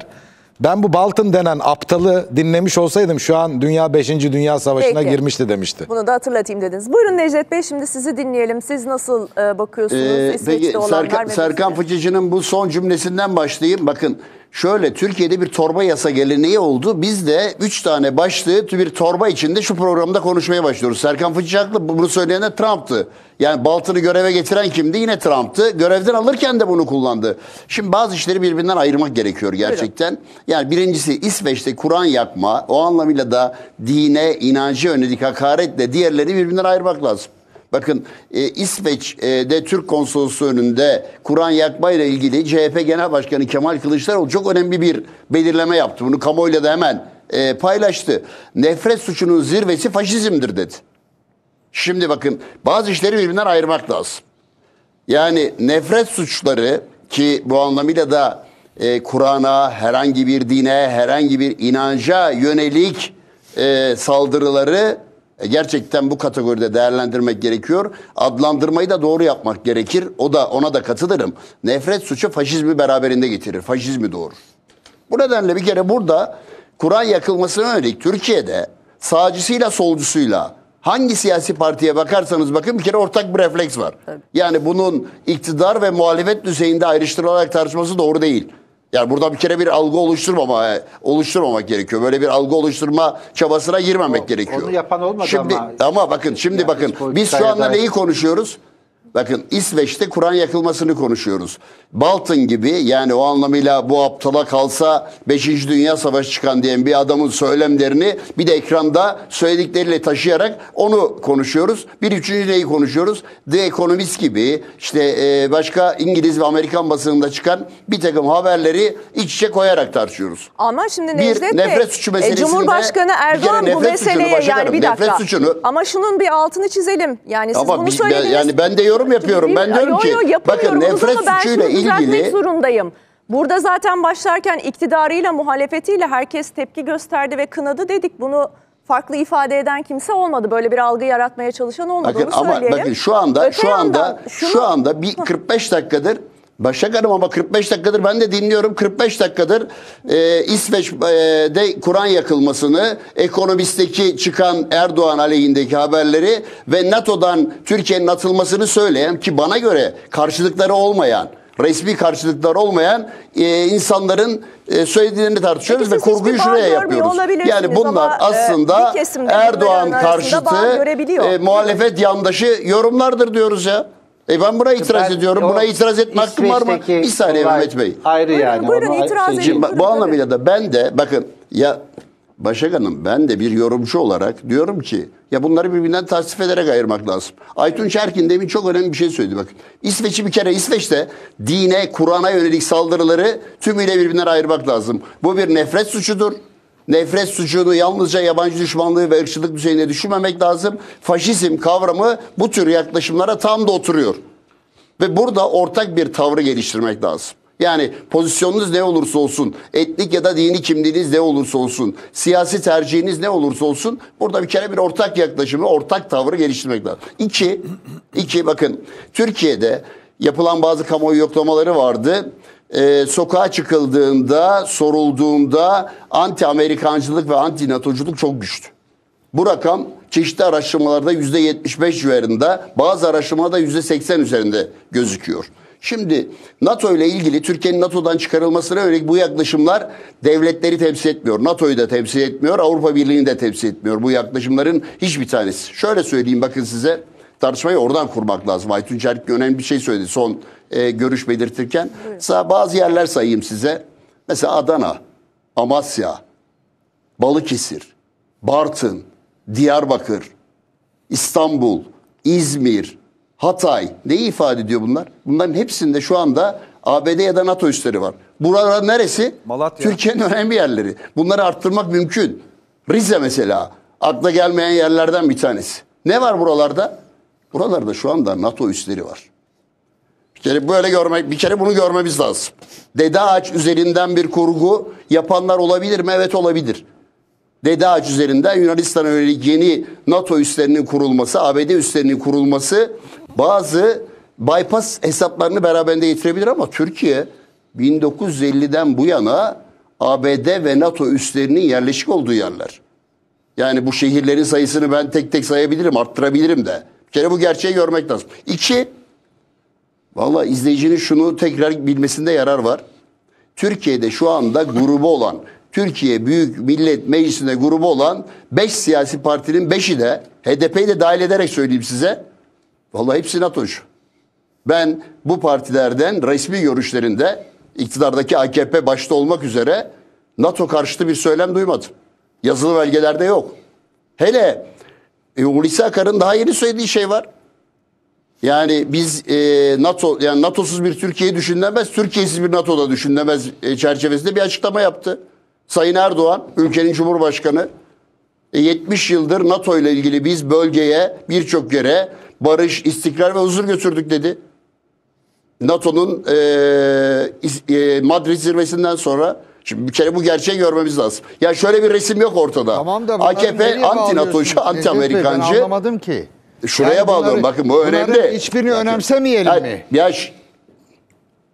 Ba- öne bakın başka Mesela bir şey söylüyorum. O- manşetini önce tespit yapalım. mi? Washington. Post'taki Ya makaleyi oraya da geleceğim. Oraya da? Melik Yiğitel, Melik Ne Yiğitel. Bak, oraya da geleceğim de. Mesela Hayır, sorayım size. Sorayım. çıkalım. Mesela Ya AKP. Ama Necdet Bey o kadar Ya sinir arkadaş- bozucu bir şey anlatıyor ki. Peki bir dakika, Yani biz tamamlasın. boşuna Tamamlayınca anlayacağız Ya arkadaş sinir bozucu değil. Bir gerçeği ifade ya? ediyorum ya. Bu adamları ciddiye almayalım mı? Arkadaş Alıyoruz, alıyoruz. Tamam Ben- bunlar ben Erdoğan'la bunların- ittifak bak şey halinde mi? Ne demek ya. istiyorsunuz? Ya Anlamadım şimdi ki. bakın ya ya ya çok net ya anlamayacak bir şey yok. Türkçe Bak ifade konuş- ediyorum. bak okuyayım bir daha, ne diyor bak? Türkiye'de- Bir saniye bir Necdet Bey Adil tamamlasın. seçim yapılmazsa Hayır okumana gerek yok. Ben okudum. Ben, ben de gördüm. Yani ya Melih Türkiye'deki Yiğiter bir bekle ya uzaktayız bir de. tartışmalı hale getiriyor. Bir şey demeyelim Necdet Melik Bey. bir tamamlasın uzakta bir bardak olduğu için içelim. de Bunlar- ses gidişi Ama çok ayıp ya. Bu kadar tartışmalar- olmaz ki ya. Bir tamamlasın. Yok iktidar. Hayır az önce kurduğu cümle yani duymadığımı zannediyor da. ben de yakın olanlar ediyorum. Nedir falan- söylediğin cümle? Evet AK Parti'ye yakın olanlar tepki gösteriyor. Necdet Bey siz de Ya- verin. Ulusalcı, bayrağınızı, vatanınızı seviyorsanız en az benim kadar siz de bağırın. Sayın Saraç. Melik Beni eleştireceğinizi Melik siz de Yiğiter benim kadar çok bağırın. net- Ama bir tamamlasın Necdet Bey, buyurun. Bir bekle ben Ama bağırmama gerek ya. yok. Bak Tamam, objektif tamamlasın. bir tespit bak Ya objektif tespitlere böyle- bile itiraz sakin, etmeye gerek yok. İki, iki şeyi ya arkadaş iki şeyi birbirinden ayırarak konuşalım. Bir, diyorum ki kamuoyu araştırmalarında Türkiye'nin yüzde sekseni antinatocudur. Anti Amerikancıdır. Mecliste grubu olan partiler bak çok net bir şey söylüyorum. Mesela Adalet ve Kalkınma Partisi ile ilgili tersi bir şey varsa Melik Yiğiter söylesin.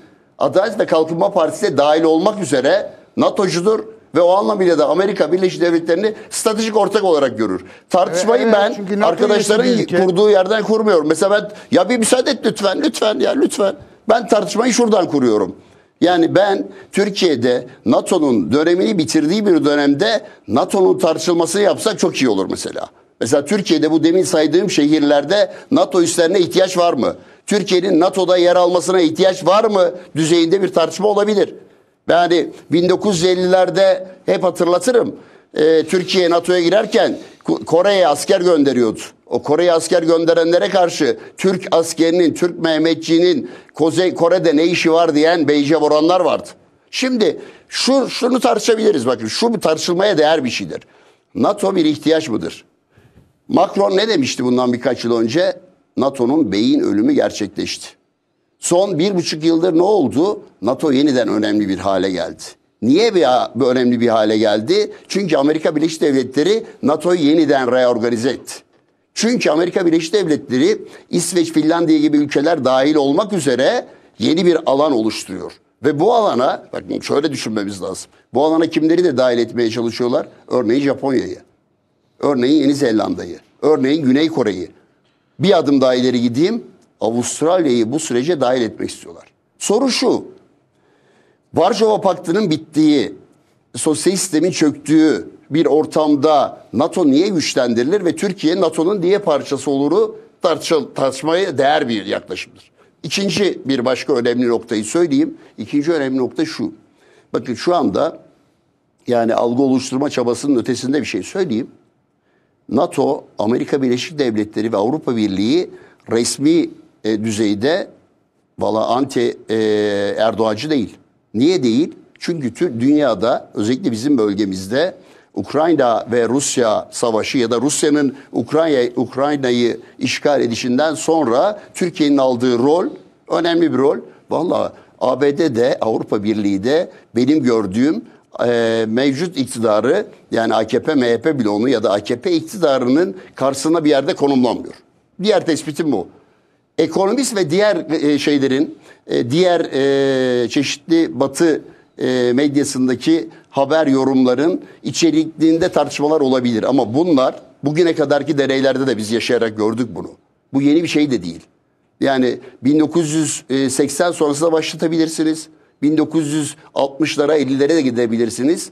Bu tür tartışmalar muhalefete yarayan tartışmalar olmuyor. Şu tartışmalarda yani o anlamıyla da batıda bir takım isimlerin buna Biden'ın e, henüz başkan seçilmeden yaptığı açıklama dahil olmak üzere bu tür açıklamalar muhalefet lehine dönen açıklamalara dönüşmüyor. Tam tersine iktidarın lehine dönen açıklamalara dönüşüyor. Bu nedenle ben şuna itiraz ettim. Ya bunları birbirinden ayırarak tartışalım. Çünkü bunları iç içe koyduğunuzda normal vatandaştaki ortak algı şu. Ya bu batı bu iktidara saldırıyor. Bu iktidara yönelik Erdoğan'a karşı bir operasyon yapıyor. Bunların doğru olmadığını söylemek için çok net bir biçimde bunları alt alta sıraladım. Ekonomist ve diğer gazetelerin yorumlarını bir bütün olarak Batı böyle diye böyle düşünüyor diye e, yansıtırsanız bu doğru olmaz. Batı'da farklı görüşler var. Mehmet Acet'in örneği son derece önemli ve değerlidir. O örnek tekil bir örnek de değil. Ben o örneği e, iktidarlar düzeyine taşıyorum. Amerika Birleşik Devletleri'ndeki şu andan Biden yönetimi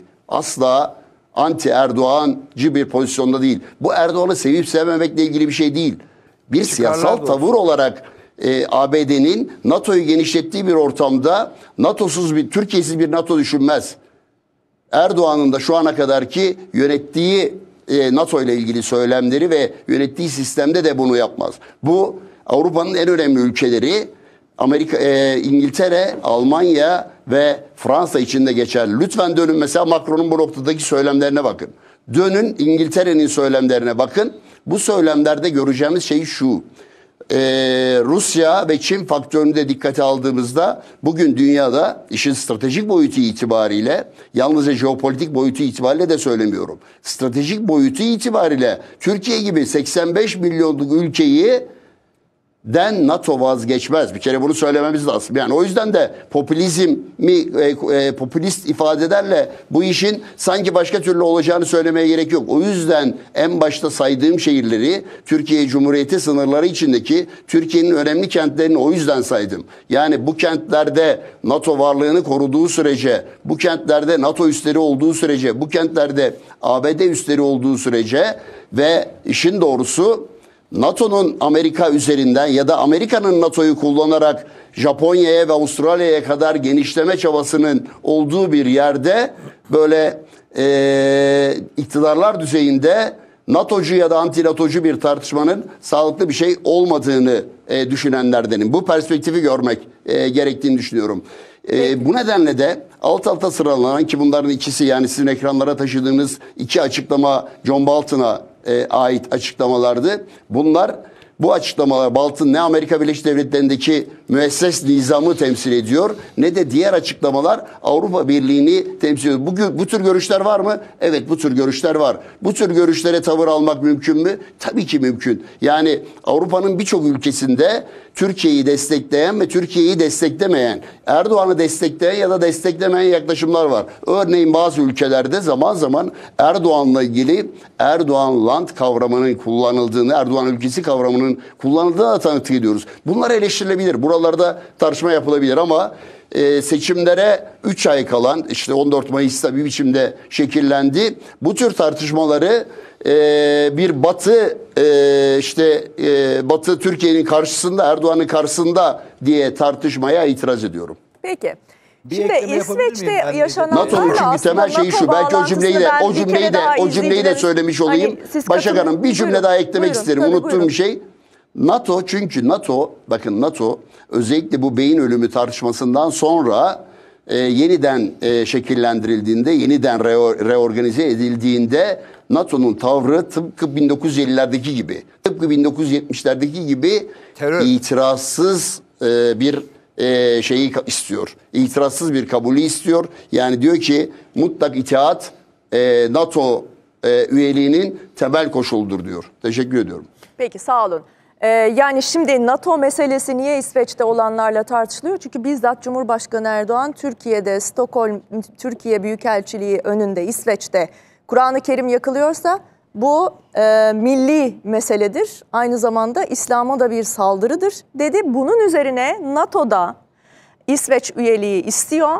Ancak bundan sonra beklentileri karşılanmayacaktır. Bu da açıktır dedi. Şimdi bir arpa boyu yol alınamamıştır dedi. NATO'ya bağlanmasının sebebi bu ve baktığınızda son dönemde Sayın Yaycı'nın e, köşe yazısında izleyicilerimiz okuyabilirlerse orada da bir sıralama var aslında bir süredir bununla ilgili neler söylenmiş ki, neler Kur'an'ın açıklanmış. yakılmasını NATO'ya bağlamanın bir mantığı yoktur. Yani Sayın Erdoğan böyle söylemiş olabilir ama ben de başka bir perspektif Hayır, ortaya Türk koyuyorum. Büyükelçiliği önünde e, yakıldı O anlamıyla da mutlak böyledir diye bakmak durumunda değiliz. Kur'an-ı Kerim'i Türk Büyükelçinin karşısında yakıp Erdoğan sloganı attılar. Biliyorum.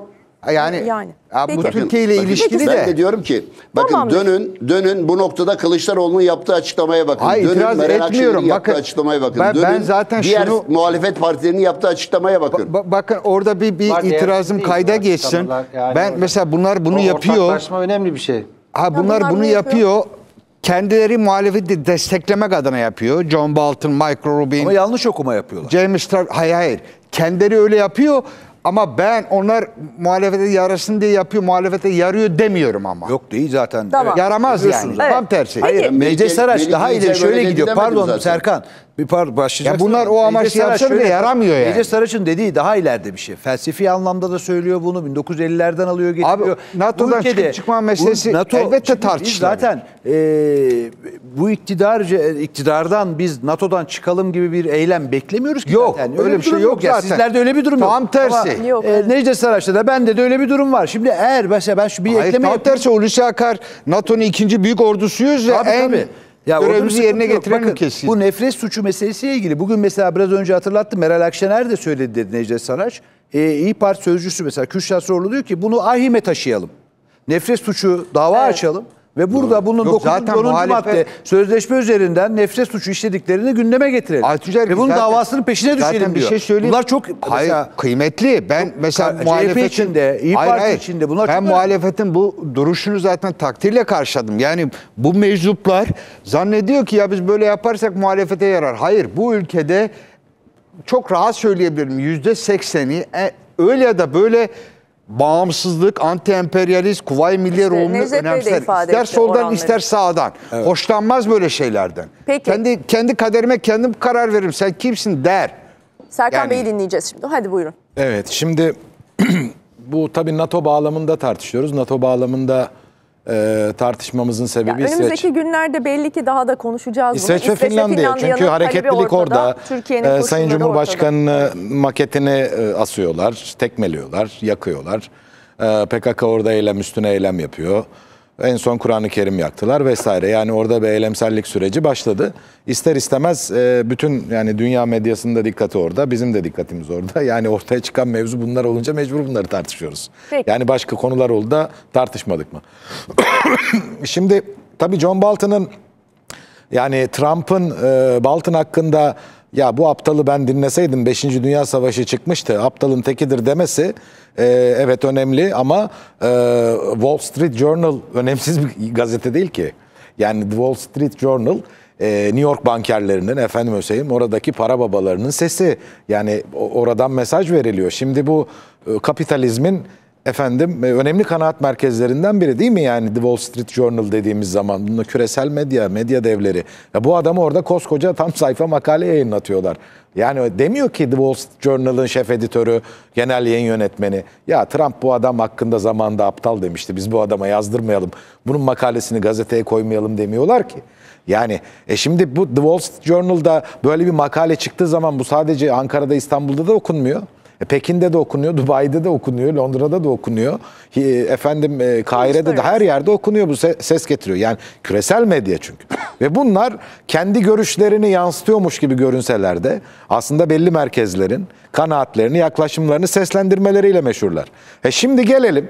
Ya e, zaten çok özel. Washington Washington Post, Wall Street Journal, New York Times. The Economist, New York Times bunlar çok ağırlığı olan gazeteler. Yani bunları dikkate almak mecburiyetindeyiz. Niye? Bu adamlar işaret veriyorlar. 3 ay sonra Türkiye'de darbe oluyor yani. Bu adamlar bir şeyleri ima ediyorlar. 2 ay sonra bilmem ne oluyor. Yani e, bunları yaşadık, tecrübe ettik. Şimdi gelelim bütün bu söylemler, e, Sayın Erdoğan'a ve Türkiye'ye karşı geliştirilen söylemler, hakaretler yani The Economist'teki, The Economist'in kapağındaki gibi. Bu yaklaşımlar e, Sayın Erdoğan'a yarıyor. Yani ve Sayın Erdoğan e, önümüzdeki seçimi kazansın diye bilinçli olarak e, Batı medyası e, Sayın Erdoğan'a bilinçli olarak hakaret ediyor ki Türk seçmeni Erdoğan'ın etrafında kenetlensin ve böyle bir e, şey fayda sağlasın Sayın Erdoğan. Şimdi ben e, muhalefet temsilcilerinin bazılarından bu yaklaşımları duydum. E, muhalefet medyasında bu yaklaşımları, bu yorumları gördüm, dinledim. E, aklıma şu geldi o zaman peki bu adamlar ne diyorlar? Yani e, bu gazeteler, Batı medyası, The Economist Sayın Erdoğan'a ne diyor? Yani bir kelime kullanıyorlar değil mi? Ne diyor Melik? Diktatör. Diktatör. Diktatör. E, otokrat. Diktatör. Türkiye'de demokrasi kalmadı. İnsan hakları yok. Hukuk yok, özgürlükler yok. Demokrasi rafa kalktı. The, The Economist ve John Bolton yazısında diktatör diyor. Ben hepsi diyorlar. Şimdi tamam da e, bunlar Erdoğan'a destek vermek için yine Erdoğan'a diktatör diyorlarsa peki Türkiye'deki siyasal muhalefet yıllardır Erdoğan'a aynı kelimeleri kullanıyor zaten. Sayın Kılıçdaroğlu da diktatör diyor. Ben size 50 tane video kaydı çıkartırım. Yani Sayın Kılıçdaroğlu da Erdoğan'a destek vermek için mi diktatör diyordu? Yani Erdoğan'a diktatör demek milleti Erdoğan'ın etrafında kenetliyorsa o zaman yani bu muhalefet de Erdoğan'a çalışıyor yıllardır? Ha efendim işte içerideki muhalefet derse başka, dışarıdakiler derse başka. E dışarıdakiler bu lafları nereden alıp kullanıyorlar? Bakıyorlar diyorlar ki Türkiye'deki siyasal muhalefetin söylemi bu.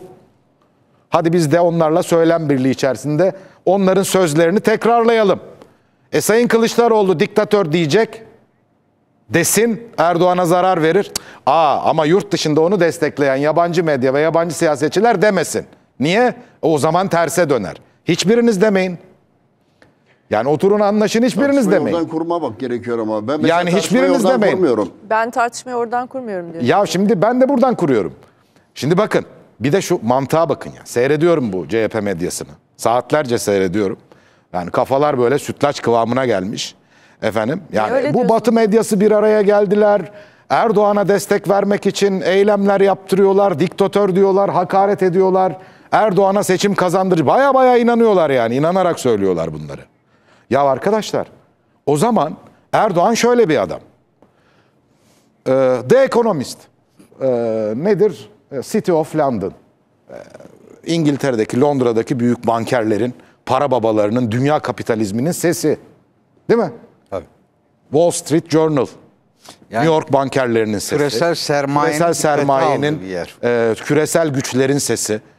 E, Diğer yayın organları, uluslararası istihbarat ağlarının yönlendirdiği, büyük devletlerin üzerine politikalar kurduğu yayın organları, dev yayın organları. Erdoğan hepsine hükmedebiliyor. Bir, hepsine hepsini kendi lehine çalıştırabiliyor. Hatta içerideki muhalefeti de onlarla söylem birliğine sokabiliyor. Kılıçdaroğlu'na da diktatör dedirttiriyor. The Economist'e de diktatör dedirttiriyor. İkisi de aynı şey söylüyor çünkü. Dedirttirebiliyor. E bu adam o zaman dünya lideri. Yani uğraşmayın. Aday falan aramayın. Madem bu kadar büyük anlamlar yüklüyorsunuz. Yani bütün dünyaya efendim NATO'daki temsilcileri, Amerika'daki düşünce kuruluşlarına, dünyanın en büyük medya örgütlerine hatta Türkiye'deki siyasal muhalefetin tamamına ey arkadaşlar hepiniz bana diktatör deyin ki millet etrafımda kenetlensin dediğinde hepsi emredersin deyip hazır ola geçip dediğini yapıyor. CHP dahil, Kılıçdaroğlu dahil bu kafayı, kafa bu kafaysa eğer. O zaman niye uğraşıyorsunuz ki? Zaten büyüklüğünü, üstünlüğünü, yenilmezliğini, gücünü kabul etmiş durumdasınız. Ha burada ya ciddi ciddi e, Başak Hanım bir şey söyleyebilir bu miyim? yorumları, Bir bu yorumlar ben ekleyeceğini? sözümü tamamlayayım da Necdet Tamam. abi. Necdet Şimdi Bey bakın. dinleyelim sizi sonra. Bir, Türkiye'deki siyasal muhalefet 10 senedir Sayın Erdoğan'a her gün diktatör diyor. Her gün Türkiye'de demokrasi yok diyor. Yabancı yatırımlara Türkiye'de yatırım güvenliği yok gelmeyin diyor. Şimdi bu Batı medyası da Türkiye'deki siyasal muhalefetin söylediklerini birebir tekrarlıyor. Birebir aynen mota mot kelime kelime. Türkiye'dekiler diktatör deyince efendim milletin etrafında işte millet Erdoğan'ın etrafında kenetlenmiyor. Aynı lafları Batı medyası muhalefet temsilcilerin ağzından alıp birebir kullanınca Erdoğan'a destek vermiş oluyorlar. Muhteşem bir mantık, harika bir kafa yapısı, tamam mı? Yani mu- muazzam bir mantık silsilesi diyorum. Başka hiçbir şey demiyorum. Peki buyurun Necdet Bey. Şimdi e, gerçekten nereden baktığınız sizi bazen sonuca götürüyor. Şöyle bir şey okumak istiyorum size. Türkiye dünyanın önde gelen üretim merkezlerinden biri olmaya hazırlanıyor. Bunun içinde koşullar son derece iyi. Türkiye'nin genç ve iyi eğitimli bir nüfusa sahip olduğu ve altyapının mevcut hükümet döneminde büyük ölçüde genişlediğine işaret e, etmek gerekiyor. Bu da önümüzdeki dönemde Türkiye'de üretim kapasitesinin ciddi bir biçimde artacağını, Türkiye'nin dünya ekonomisinde yerinin büyüyeceğini söylüyor. Kim yazıyor bunu? Bunu yazan kim mesela? Bu da e, iktidara pozitif bir şey. Die Welt. Die Welt kim? Die Welt Almanya'nın en önemli gazetelerinden bir tanesi. Şimdi mesela Die Welt bunu yazdığında şöyle mi değerlendirmek lazım? Almanya Türkiye'nin tümüyle arkasında, Türkiye ekonomisinin arkasında mı diye değerlendirmek gerekiyor. Eski bir yazıda değil bu arada, bunu da söyleyeyim. Ekim 2022. Şimdi şöyle bakarsanız yanılırsınız. Bir kere şunu ayırdığımız için eee, sevindim. Yani İsveç'teki Kur'an yakmasıyla eee, NATO'ya yönelik bana göre ciddiye alınmaması gereken yani ekranda çok uzun süre bunları ciddiye alarak bu söylemleri Türkiye'nin NATO'dan çıkarılmasını istiyorlar. Üzerine bir kurgu yapmayı ayırmak doğru. Şimdi Serkan Fıcıcı'nın e, gazeteler üzerinden giderek verdiği örneklere şimdi mesela Die Welt'i okudum ben de.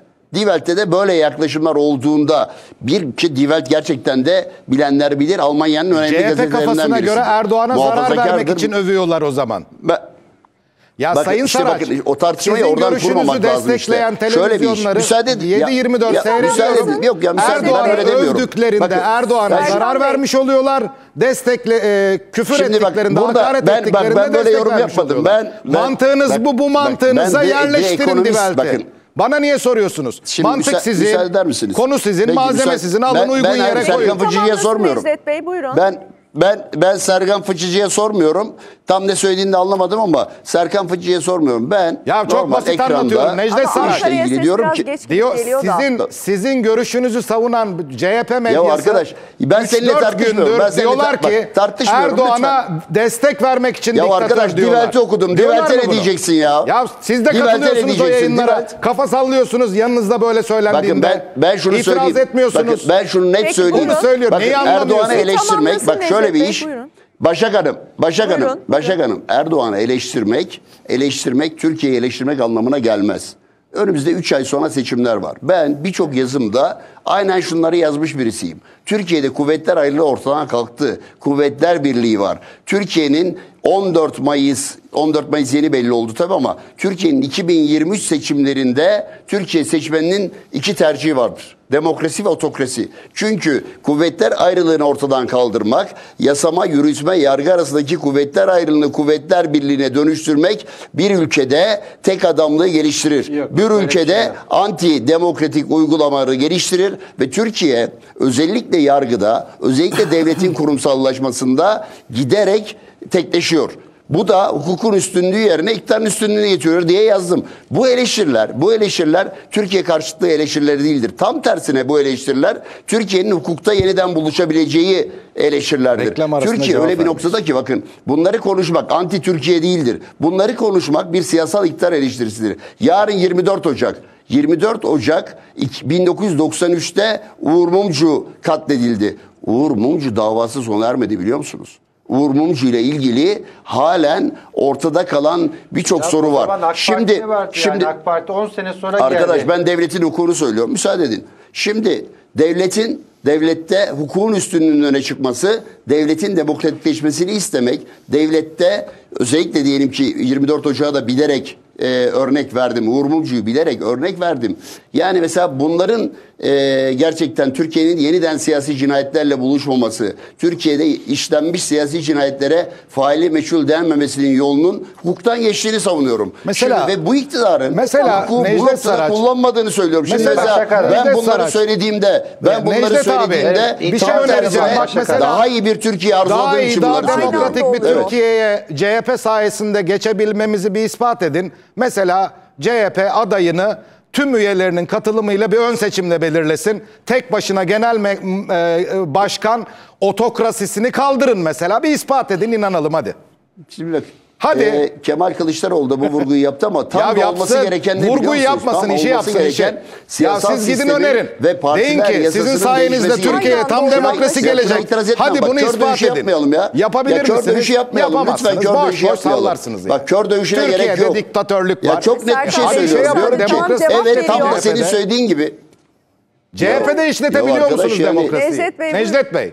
Ya bak, yani o ben, çok ya e, arzuladığınız, ki, Türkiye'de işleteceğiz dediğiniz demokrasiyi elinizdeki, yönetiminizdeki, elinizin altındaki yüzde yüz hükmetebildiğiniz CHP'de işletemiyorsunuz. Bakın benim benim söylediğimde benim söylediğimiz bunun alakası yok ama söyleyeyim. söyleyeyim genel başkan diktatoryası var orada da. Serkan Bey. Ya, bak, CHP'de genel başkan diktatoryası yok mu? Sorunuz şu. Serkan Bey bir dinleyelim Necdet Bey. Ya, var mı yok mu? Arkadaş sorunuz şu bak. So, ya sorunuz şu. Bak her şeyi ak ve kara olarak görüyor. Mesela şöyle yaklaşılabilir. Türkiye'de si- si- siyasal partiler yasası yanlıştır. Türkiye'de seç, o anlamıyla da milletvekili tespiti de milletvekilliği seçim e, yöntemi de yanlıştır demek mümkün. Doğru mu? Evet. Türkiye demokratikleşecekse siyasi partiler yasası değişmelidir. Türkiye demokratikleşecekse milletvekilleri CHP'de dahil olmak üzere yalnızca genel başkanın e, tasarrufunda olmamalıdır. E öyle. Türkiye değişecekse milletvekilleri bakın Ya kendisini böyle yaklaşılabilir, böyle yaklaşmak değiştiremeyen lazım. Türkiye'yi Ya bir değiştirebilir müsaade et ya bir müsaade et ya. Değiştirin. Ya konuşuyorsun, 25 dakika oldu. Türkiye'de Ama cevabını alalım tamam. Ya arkadaş, sen Bir cümle soru soruyorum. başa Diyorum ki moderatör kendisini ya. değiştiremeyen CHP, Ben Kılıçdaroğlu, senin- bak senin partisini soruna- Ya senin diktatörlükle soruna yöneten istediğin gibi Kılıçdaroğlu cevap vermek Türkiye'ye zorunda nasıl değilim ki. demokrasi getirecek diyorum. Bak başka bir şey Değiştirir söylüyorum. diyor Somut Necdet. soruyorum. Geneli, bak geneli göremediğiniz için. Boş ver geneli, CHP'de göremediğiniz uygula demokrasiyi kişisel bir görelim tartışma nasıl bir şey. Kişisel bir tartışma yapmak istemiyorum. Başak Hanım ben Peki, kişisel bir peki. tartışma yapmak istemiyorum. Ben şöyle diyorum. Bakın Buyurun. şunu çok net bir biçimde bu ekrandan savunuyorum. Türkiye demokratik Türkiye'nin demokratikleşmesi yalnızca hukukun genel olarak e, yeniden yapılanması ile ilgili değil. Siyasi partiler yasası değişmeli. Seçim yasası değişmeli. Milletvekili belirleme yöntemi değişmeli. İnsanlar el ele Milletvekillerini tutuşsa belirlemek hayat asla bayramı. ve asla Söylüyor ama yalnızca neyi bir soracak kişinin ya da başka? birkaç kişinin o anlamıyla uhdesinde kalmamalıdır. Peki. Şimdi mesela Türkiye bitsin böyle bir yere Kılıçdaroğlu doğru desin evrilebilir ki. mi? Tüm Ben haberler mesela öyle. CHP'nin de böyle bir şey Araya gideceğiz savunduğunu zaten, e, tamamlayacak. bilen birisiyim. Peki Hayır, bir- kısa bir ara Yani sonra devam şey, edeceğiz. Kısa bir tartışma ara. İşler. Kısa bir ara.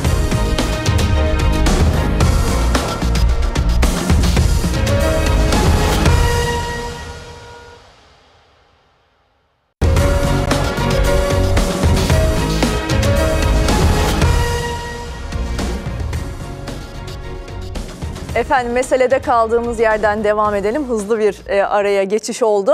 E, Necdet Saraç sizin eklemek istediğiniz varsa alalım az önceki tartışmaya dair. Yoksa Aydınç Bey'i dinleyip e, bu konuyu geride bırakacağız ve iç siyasete bakacağız. Buyurun. Yok benim yok yani benim söylemeye çalıştığım bir tek şey var. Demokrasiyi bir bütün olarak almak gerekiyor. Türkiye'deki uygulamalar, Türkiye'nin geldiği noktada Türkiye çok ciddi sıkıntılar yaşıyor. Bu anlamıyla da e, demokratikleşme siyasi partilerin de demokratikleşmesiyle ilgili bir iştir. Yani tek taraflı değildir. Bu yeni bir siyasal kültürdür. O siyasal kültürü yakalamak gerekiyor. Bu anlamıyla da eleştirileri Türkiye karşıtlığı düzeyinde almamak gerekiyor. Türkiye'de çok önemli ve değerli eleştiriler var. Hukuka yönelik de demokrasiye yönelik de. Peki çok teşekkürler. Aytunç Bey Şimdi buyurun. e, biraz önce Serkan Fıçıcı e, yok içeride diktatör, dışarıda diktatör beraber. Şimdi biz e, Serkan Fıçıcı lisede hiç kavga etmemiş. Biz sınıflar arası kavgalar olurdu. Edebiyatlar, matematikçiler birbirine girerdi. Kız davaları olurdu vesaire. Eyvah. Hani öyledir yani. Bu yaşadık, yaşamamış arkadaş.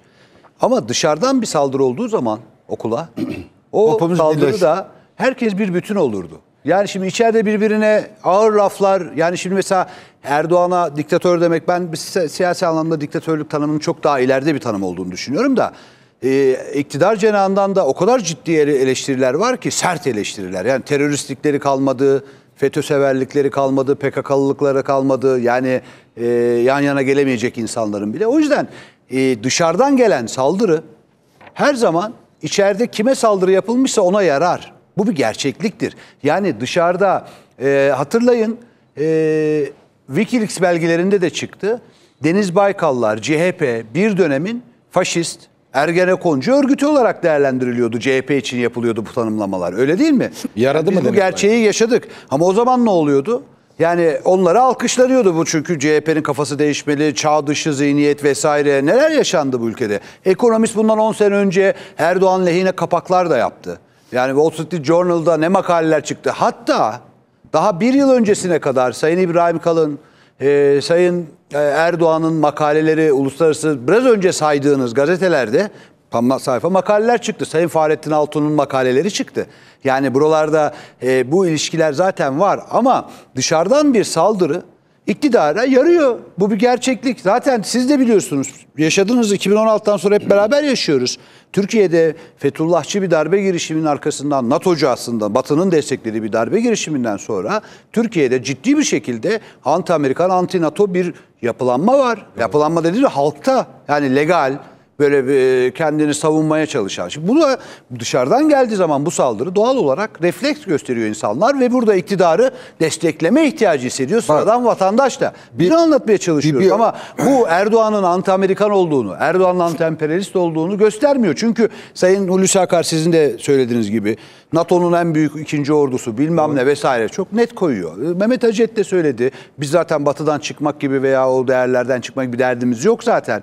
Ama biz gücümüzü gösteririz vesaire gibi cümleler kurdu. Evet bu da bir bakış açısı bu da bir şey ama Ya sonuçta şey baktığın zaman NATO bugün sorgulanması gereken NATO bugün Varşova Paktı'ndan sonra artık Necdet Saraç'ın da dediği gibi masaya yatırılması gereken, Türkiye'deki üsleriyle, Türkiye'de terör örgütlerine verdiği destekle masaya yatırılıp veya def edilmesi gereken bir yapılanma ve bir şebekedir artık. Ama bu Biz bunu şey- tartışalım bu esas dediğin mesele şey olarak. devlet politikası. Bunu diyebilecek bir iktidar var mı? Tamam. Yok veya muhalefet var mı? Hayır, hayır, Yok. Bu, bu devlet politikası. Şimdi Tamam. yeni bir ben tartışmaya, ya. Hayır, işte bir şey. iktidar ve muhalefetten bahsediyorum. Eyvallah. İkisi de yeni bir tartışmaya mahal vermeden Bir de yanlış anlaşıldığım bir husus var. ben. Onu bir cümlede şunu. Bir ekleyeyim. cümle, sonra Biraz önce e, Serkan. Fıkçı'nın sorusu. Yani seçime 3 ay kala e, Kılıçdaroğlu efendim özgürlükçülük yapsın, ön seçimle gitsin. Ya şu anda seçime gidecek hiçbir yerde kimse kimsenin adayını hadi gel ön seçimle yapalım demez. Böyle bir hak yani böyle bir hakkı da yok artık kimsenin. Yani geçti o işler. Şu anda adayı belirleyecek olan Sayın Kılıçdaroğlu'dur, Sayın Erdoğan'dır, Sayın Akşener'dir vesaire. Bu Diktatör kadar net. bunlar? Bu da bir gerçeklik. Hepsi Ama ayrı keşke diktatör mü temennimiz değişse her şey. Yani ön seçimler olsa, demokrasi olsa vesaire. Benim Çok itirazım, kısaca şu, alayım. itirazım şunaydı. Yani itirazım şunaydı. Özellikle muhalefet medyasında günlerdir izlediğim e, sanki bütün bu yorumları Erdoğan kendisine yarasın diye yaptırıyormuş. İtirazım bunaydı diyor. Ya böyle Peki. bu, bu, bu bir saçma yorumlar vardı. Bir cümle Bir de buna kimse itiraz etmiyor biliyor musunuz? İnanıyorlar yani milyonlarca paylaşım alıyor tweetler ya e, Peki. şey sosyal medya paylaşımları etkileşim alıyor. Aa işte ne olmuş bunlar sırf Erdoğan seçim kazansın diye Erdoğan'a diktatör diyorlarmış. E, bunu da onaylayan bir çevre var. Yani ben bunun mantıksız olduğunu ortaya koymaya Peki. çalıştım o kadar. Buyurun Melih. Bir cümle arşivlerde duruyor. Ee, bakıp herkes bakı, bakabilir ona. Nancy Pelosi, Amerikan Temsilciler Meclisi Başkanı, Trump'ı görevden almaya çalışıyordu biliyorsunuz. Azletmek için kadın bayağı çalıştı. Tam o dönem Fransa'ya gitti Paris'te. Paris'te ona mikrofon uzatıldı ve dediler ki Trump'ın azli söz konusu mu hala aynı kararlılıkta mısınız diye. Cevap şu.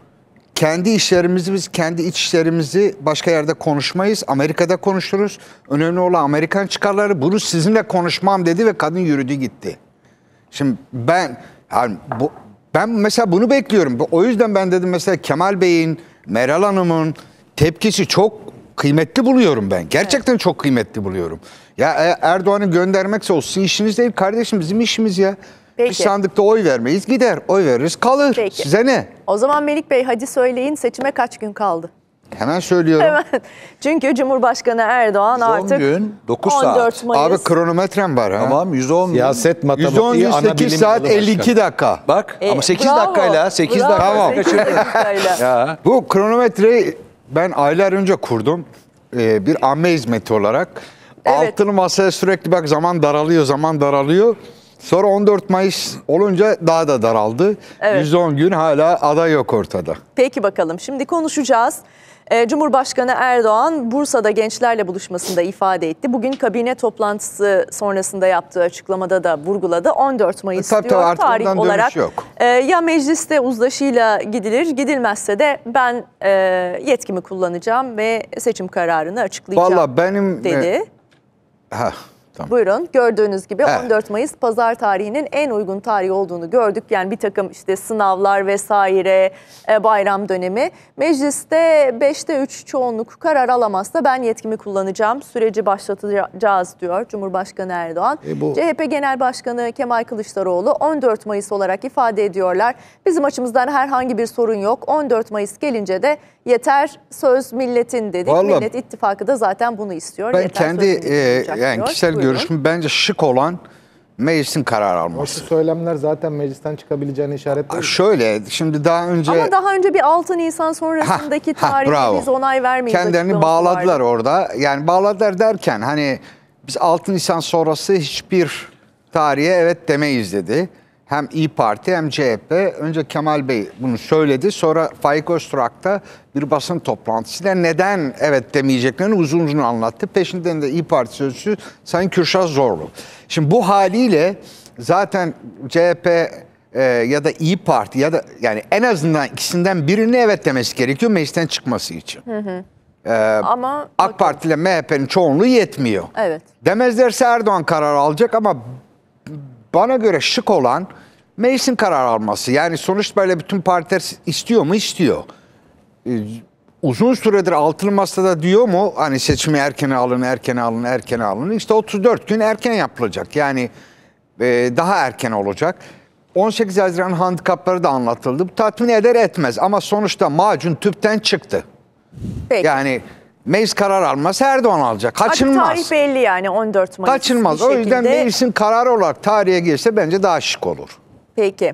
Ee, şimdi görüyorsunuz Meral Akşener'in açıklamasını da. Ee, Meral Akşener de Mayıslar bizimdir. Eğer 14 Mayıs'ta yapılacaksa Cumhurbaşkanlığı seçimi ben buradan ilan ediyorum. 13. Cumhurbaşkanı bizim yani Millet İttifakı'nın adayı olacak. Yalnız Mayıslar bizimdir sloganı ilk Aytunç Erkin kullandı. Hakkını teslim edeyim. Evet. Kadar. Fatih Terim kullanmıştı ya. He, ocaklar sizin, Onlar Mayıslar bizim. Ocaklar sizin olsun, Mayıslar bizim olsun Evet. demişti. Galatasaray'ın şeyi de odur, sloganı da odur. Peki Sayın Karamollaoğlu Mayıs'ta iklim değişecek notuyla bir video paylaştı. Ee, Sayın Uysal Demokrat Parti olarak buradayız, aynı yerdeyiz, bekleriz dedi. Babacan sürpriz değil, ülkemiz için hayırlı olsun diyoruz dedi. Meclisten çıkabilir mi? Göreceğiz. Valla şöyle yani ben dediğim gibi hani daha önce hani 6 Nisan öncesi neden istediklerini bence makul bir şekilde anlattılar. Yani onu anlayabiliyorum tabii 6 Nisan önce neden olması gerektiği konusunda. Kendilerince gayet tatmin bir şekilde açıkladılar. Ama gelinen noktada artık bu iş kaçınılmaz görünüyor. Kendileri de söylüyor bunu. E, Sayın Akşener Diyarbakır'da da bunu söyledi. 14 Mayıs'ta olacak hazır mıyız diye. E, Kemal Bey 14 Mayıs'a göre Yani hazırladık onlar dedi. da o tarihi kabullendiler. Kabullendi bugün Sayın Karamollaoğlu da söyledi. Yani seçim 14 Mayıs'ta olacak.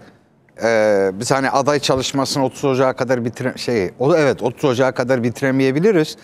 Temel Ee, Karamollaoğlu 30 Ocak'ta açıklanmaz diyor. Açıklanmaz, oranda. yetiştiremeyeceğiz Ee, diyor. 26 Ocak'ta çünkü nasıl bir yöntemle Sonra 30 aslında Ocak'ta hükümet programını açıklayacağız. Sonra adayı ilan edeceğiz Evet, diyor. evet, Sayın Bu Akşener temeldeki de- Şubat'ı bulacak. Evet Sayın Akşener de 26 Ocak'ta yöntemin şekilleneceğini Evet, yöntem hatta etti. isim de e, konuşabiliriz dedi. Hayır şimdi 16 İsmi kararlaştırır değil ama. size. 16 Bir dakika, buyurun. Ocak'ta burada bu yayında aday nasıl belirlenecek tartışması olacak. 26 Ocak'ın sloganı nedir? Diye bir şey söylemiştim. Hatırlıyor musun? Evet, 26 evet. Ocak'ın Ben bu sormuştun. Aday nasıl belirlenecek? Doğru. Mesele burada oraya kilitlendi şimdi. Doğru.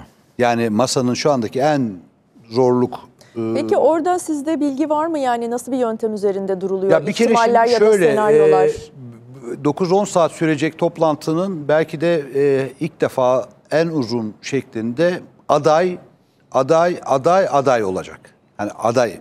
Belki Tek konu. isimler gelebilir. Tek konu belki. Tek başlık. Ya çünkü o ortak geçiştir, yol haritasıdır tamam bunlar zaten şekilleniyor komisyonlar vesaire. Tabii komisyonlar Ama artık çalışıyor. adayın belirlenme e, ile ilgili Yöntemi. çok yöntemle ilgili ciddi bir şekilde Meral Akşener zaten bunu partileri gezdiğinde de başlıklar halinde verdiğinde birinci başlığından başlıklarına yani en baştaki başlıklardan biri olarak e, biliyoruz bunu. E, ve e, bugün e, Kürşat Zorlu'nun İhbar Sözcüsü'nün açıklamasının son cümlesi var. Hani sağlıklı toplumun beklentilerini karşılayan bir aday konusunda ısrarcı olduklarını söylemeye Doğru. çalışıyor. Bu demek ki kazanacak aday cümlesinde e, Israr ısrarlı olduklarını. Tabii beklentileri E, karşılayacak cümlesi önemli. beklentileri karşılayacak. Şimdi bu beklentileri karşılama nasıl olacak? Bunu bilemeyiz. Yani anket mi olur, başka bir türlü olur. Anket zaten konuşulacak deniyor ama. Deniyor, bilmiyor. Yani bunları önümüzdeki günlerde Ama ona itiraz da var her Başak Hanım. parti kendi e, Çalışmasını yapacak. Çalışmasını Anket yapıp işine itiraz da koyacak. var ama. Öyle mi? CHP'den Nasıl? özellikle CHP'den. itiraz var Ya anketle e, hangi anket, nasıl bir yöntem? Ankette mesela ne soracaksınız? Evet. Altın Masa'nın adayı mı?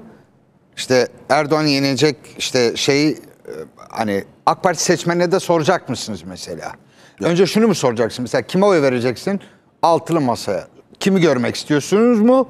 Yoksa kimi görmek istiyorsunuz? Niye bu önemli? Bu önemli ama bak CHP çok doğru bir iş yapıyor. Ben o itirazın altına imzamı atarım. Neden? Şunun için.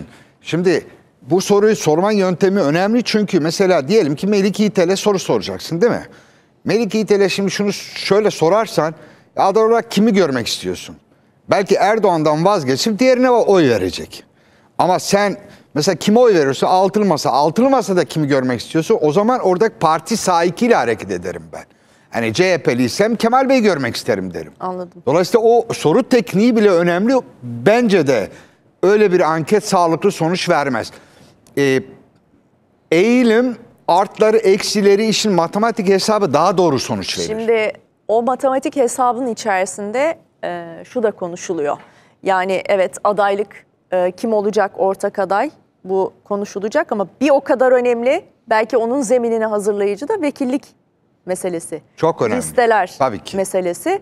E, çok birbiriyle de bağlantılı yorumunu duyuyoruz Doğru. ve görüyoruz. Şimdi iki önemli soru söz konusu anladığımız kadarıyla altılı masanın masasında duran bir aday, iki seçim. Milletvekili. ve- milletvekilliği Doğru. seçimi. E tabii Ama- Ama, milletvekilliği seçimi konusunda Bence o ikisi de birbiriyle ilişkili tabii. Yani şöyle, e, şimdi diyelim ki e, Çatı adaya, diyelim ki Kemal Bey'e karar verdiniz. Çatı adaylıkta. O zaman geriye kalan o dört küsuratlı partiyi de pekala siz kendi listelerinizden gösterin diyebilir Meral Hanım. Yani sonuçta çatada olacaksınız, rüzgar lehinize dönecek ve bu sizin lehinize ise alın o dört parti kendi içinizde değerlendirin der. Diyelim ki İmamoğlu'na karar verildi. O zaman çok başka bir sonuç çıkacak ortaya. Dört partiyi iki parti içinde dağıtmak söz konusu olabilir. Burada tabii yani diğer partiler ne talep ediyorlar? Bu da önemli. 20 milletvekili grup 20'şer, oluşturacak 20'şer kadar istiyorlar. denen var. Kaç? 10 20'şer 20'şer. imkansız. Hayır ya mesela 20'şer ama düşündüğünüzde yani CHP'nin Yani milletvekili sayısını düşünün. Saadet'e 20, Geleceğe 20, Deva'ya 20, 60. Demokrat mi? Demokrat Parti- Parti Gültekin değerli- Bey'e. en makulüdür. Demokrat Parti bugünkü açıklamalarında da Sayın Gültekin Uysal sakin bir şekilde konuşuyor. Ama orada da bir hadi 10 milletvekili de ona verdik 70. 70. 70 nasıl Ne olacak? olacak? Nasıl olacak? Kaldı şu anki pozisyonda mesela Evet. Yani o CHP'ye anlamda 60 tane kaldı. e, onların yani hepsi şu anki projeksiyonda. Yani o da sıkıntılı o 41 il 40 meselesi vesaire orada ortak adaylar nasıl çıkacak vesaire. Onların hepsi değerlendirilecek. Bu ikinci bir konu ama daha. Peki- Yani esas konu aday. Tabii. Aday Ben kim işte olacak? Ya yeter. belli- Ama işte aday- anda bu peşinden gelir Gelecek. zaten. Tabii ama aday Ya da öncesinde mi bu acaba konuşulacak? Önce aday. Önce aday diyorsun. Yani çünkü herkesin beklentisi artık 14 Mayıs açıklandı. Yani o- açıklandı derken 10 Mart'ta Abi. e, Cumhurbaşkanı diyor ben bunu yapacağım ve ondan sonra seçim geliyor 14 Mayıs. E millet soruyor artık ya şu adayı açıklayın. Yeter söz milletindir diyeceğiz ya yeter diyor insanlarda. Çünkü yani altılı masa destekçilerinde veya muhalifleri destekleyen o kitlede de bir bıkkınlık oluşmaya başladı. Yani bu iş uzadı uzadı uzadıkça adayların hepsi yıprandı. Hani yıpranmasın deniliyordu ya aday isimleri geçiyordu. O adaylar şu anda hepsi yıpranmış durumda. Buna Kemal Bey de dahil olmak üzere. Yani o yüzden bu karar ne kadar uzarsa e, o kadar daha zarar verecek. Yani Şubat ayının ortasını bulacağı konuşuluyor. Daha da geçebileceği konuşuluyor. Çünkü e, İyi Parti ad- kazanacak aday çok özür çizgisinde direnecek. Şu da söyleniyor. Yani e, seçim kararı açıklandıktan sonra bile olabilir deniyor. İşte o zaman Yani on- 10 Mart. Evet evet. Doğru. on Çok Mart. doğru. Onu da E ama yani önerim var. Evet. Nisan Mayıs 2 ay 60 gün. Ne yani burada çalışılacak? Yani burada bir sıkışmış bir durum var. Ee, artık bu gözüküyor. Ee, şimdi orada masaya listeler artık gelmeye başlayacak. Yani Deva elindeki aday listesiyle, Saadet elindeki aday listesiyle e, hepsi ve buradan bir ortak aday nasıl çıkacak? Çıkmalı. E, ve buradan ortak adaya dönecek. Şimdi mesela e, Ali Babacan'ın listesinde kulislere yansıyan dört isim var. E, bunlardan birincisi Kemal Kılıçdaroğlu, ikincisi Mansur Yavaş, üçüncüsü Abdullah Gül, dördüncüsü İlhan Kesici mesela. Bunları da e, sivil toplum- Babacan'ın Babacan Lisesi'nde. masaya götüreceği Evet isimler. çünkü bu sivil toplum kuruluşlarına, ticaret odalarına e, bir nabız yoklama için bu isimleri götürmüşler. E, Babacan bunlarla çalışıyor. Kılıçdaroğlu, Mansur Yavaş, Mansur Yavaş, Abdullah Gül, Abdullah İlhan Gül, Kesici. İlhan E, Kesici. şimdi de e, geleceğin listesinde de e, bir takım isimler oluşmaya başlamış durumda. E, CHP tek isim olarak değerlendiriliyor. Yani Kemal Kılıçdaroğlu'nu Kılıçdaroğlu. Tabii tabii. Biz sadece İyi Kemal Parti Bey'i- asıl galiba Ee, evet. Şimdi önemli İyi nokta. Parti'nin burada ya İyi Parti şunu söylüyor zaten. Yani biz burada Kemal Bey'in adaylığı masaya hani tek bir kişi geldi. Adaylığımız bu. Biz bunu Genel İdare Kurulumuz, divan, hani bütün kurullarımızla görüşeceğiz ve o şekilde vereceğiz. Hatta Diyarbakır ve Urfa röportajlarına baktığımız zaman Meral Akşener'in e, orada da mesela Saraçhane'de bütünleşemedik gibi evet bütünleşemedik. cümleleri var. Yani bu önemli. Yani hala burada bir e, süreçte sıkıntı olduğunu gösteriyor bize. İki, bugünkü parti sözcüsü e, Sayın Zorlu'nun açıklamasındaki beklentileri karşılayacak cümlesi. Altını çizelim bir kez daha. E, Evet. Burada da bir sıkıntı olduğu hala gözüküyor. E, artı Ekrem İmamoğlu'nun gezili gezisi 15 ilden bahsediliyor. Öyle değil mi? E, şimdi o da 15 il evet. Evet, 15 şimdi- illik tur. Yani içinde Hakkari'de var, Sivas'ta var, Tunceli Tokat'ta var. vesaire. Evet, evet. Yani bunların hepsi. Şimdi bunları alt alta koyduğumuzda e, masayı e, dünyayı sarsan 10 gün kitabındaki gibi e, masayı sarsan 10 gün diyebilecek süreçteyiz diye düşünüyorum. Peki. E, Necdet Bey buyurun sizi dinleyelim. Şimdi e, Sayın Akşener'in verdiği e, mesajlar var. Onları takip, takip ediyoruz. Bir yandan e, iktidar olunursa kim ne bekliyor o da konuşuluyor. E, öte yandan vekiller listesi e, böyle 20 vekil verilmesi söz konusu olabilir mi CHP'den? E, ki Kılıçdaroğlu aday olursa İyi Parti vekil vermek istemeyecektir diyor mesela Melik Bey. Nasıl bir pozisyon ve 26 Ocak'ta e, ne göreceğiz acaba?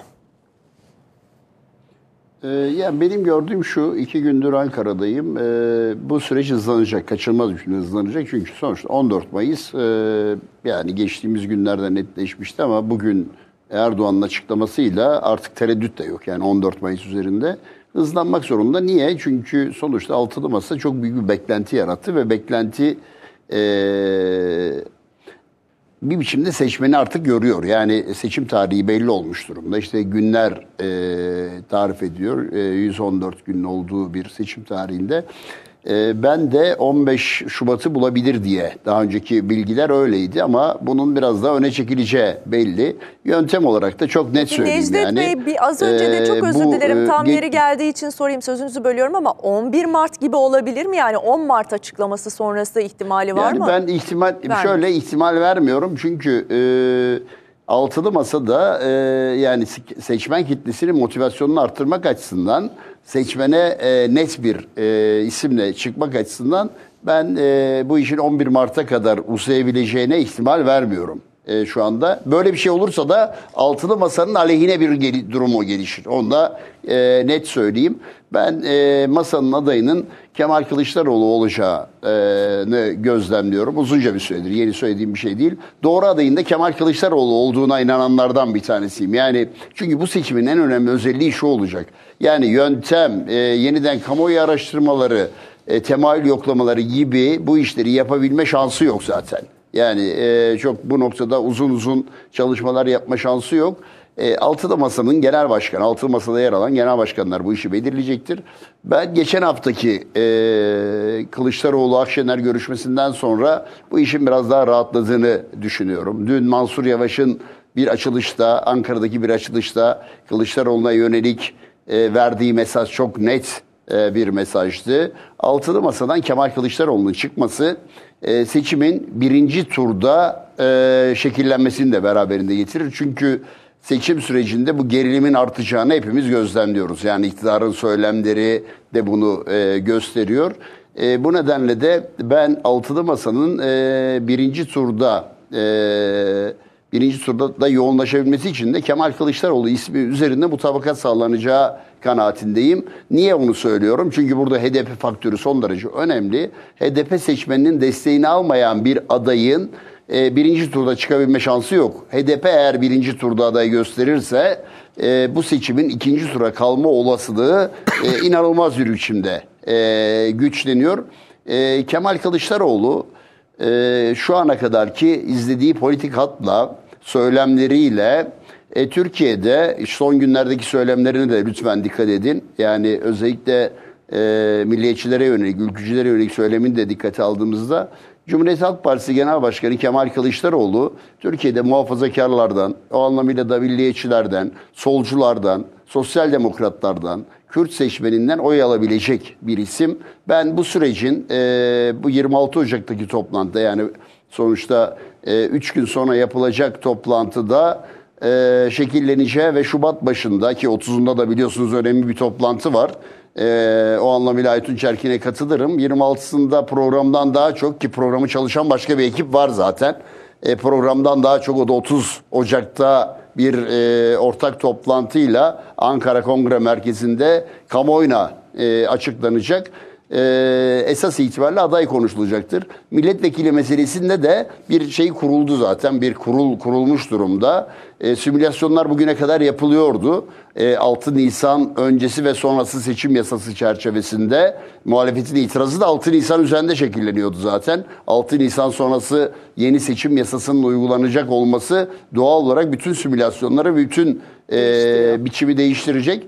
E, altılı masadan oluşan bir şey oluş, e, var. E, milletvekilleriyle ilgili bölgelere, e, illere, e, hatta e, seçim bölgelerine yani büyük şehirler açısından söylediğimizde seçim bölgelerine yönelik bir çalışmayı e, hızlandırarak hızlandıracaklar öyle e, gözüküyor ama milletvekilinin belirlenmesi o doğru bir tespit bence de e, Cumhurbaşkanı adayının belirlenmesine paralel yürüyecek bir süreç. Hatırlatmak isterim ki daha önce e, Kılıçdaroğlu e, 41 ilde e, ayrı e, partiler 40 ilde de ortak liste, Ortak liste. E, tartışıyordu. E, burada şey de önemli tabii. E, AKP, MHP, Büyük Birlik Partisi'nde sayarsak o bloğun tavrı da önemli olacak. Çünkü o blokta da çeşitli kamuoyu yoklamalarında MHP'nin oy oranları ile ilgili farklı e, sonuçlar var. Orada tek liste çıkabilir mi? Ya da orada da benzer bir şey olabilir mi? Çünkü seçim yasası, yasası şunu zorunlu kılıyor.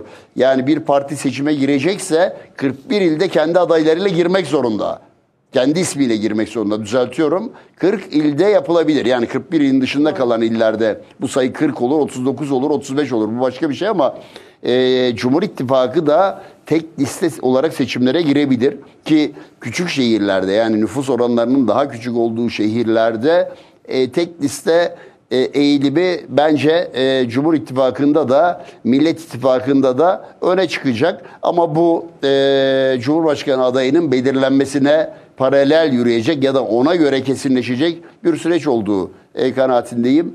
E, Millet İttifakı ya da altılı masa ben e, Şubat'ın başında yani 5-6'sı gibi bu işin e, şekilleneceğini düşünüyorum ki bazı özellikle bir süredir de özel, Demokrat Parti Genel Başkanı, Saadet Partisi Genel Başkanı Temel Karamollaoğlu çok net ifadeler kullanıyorlardı.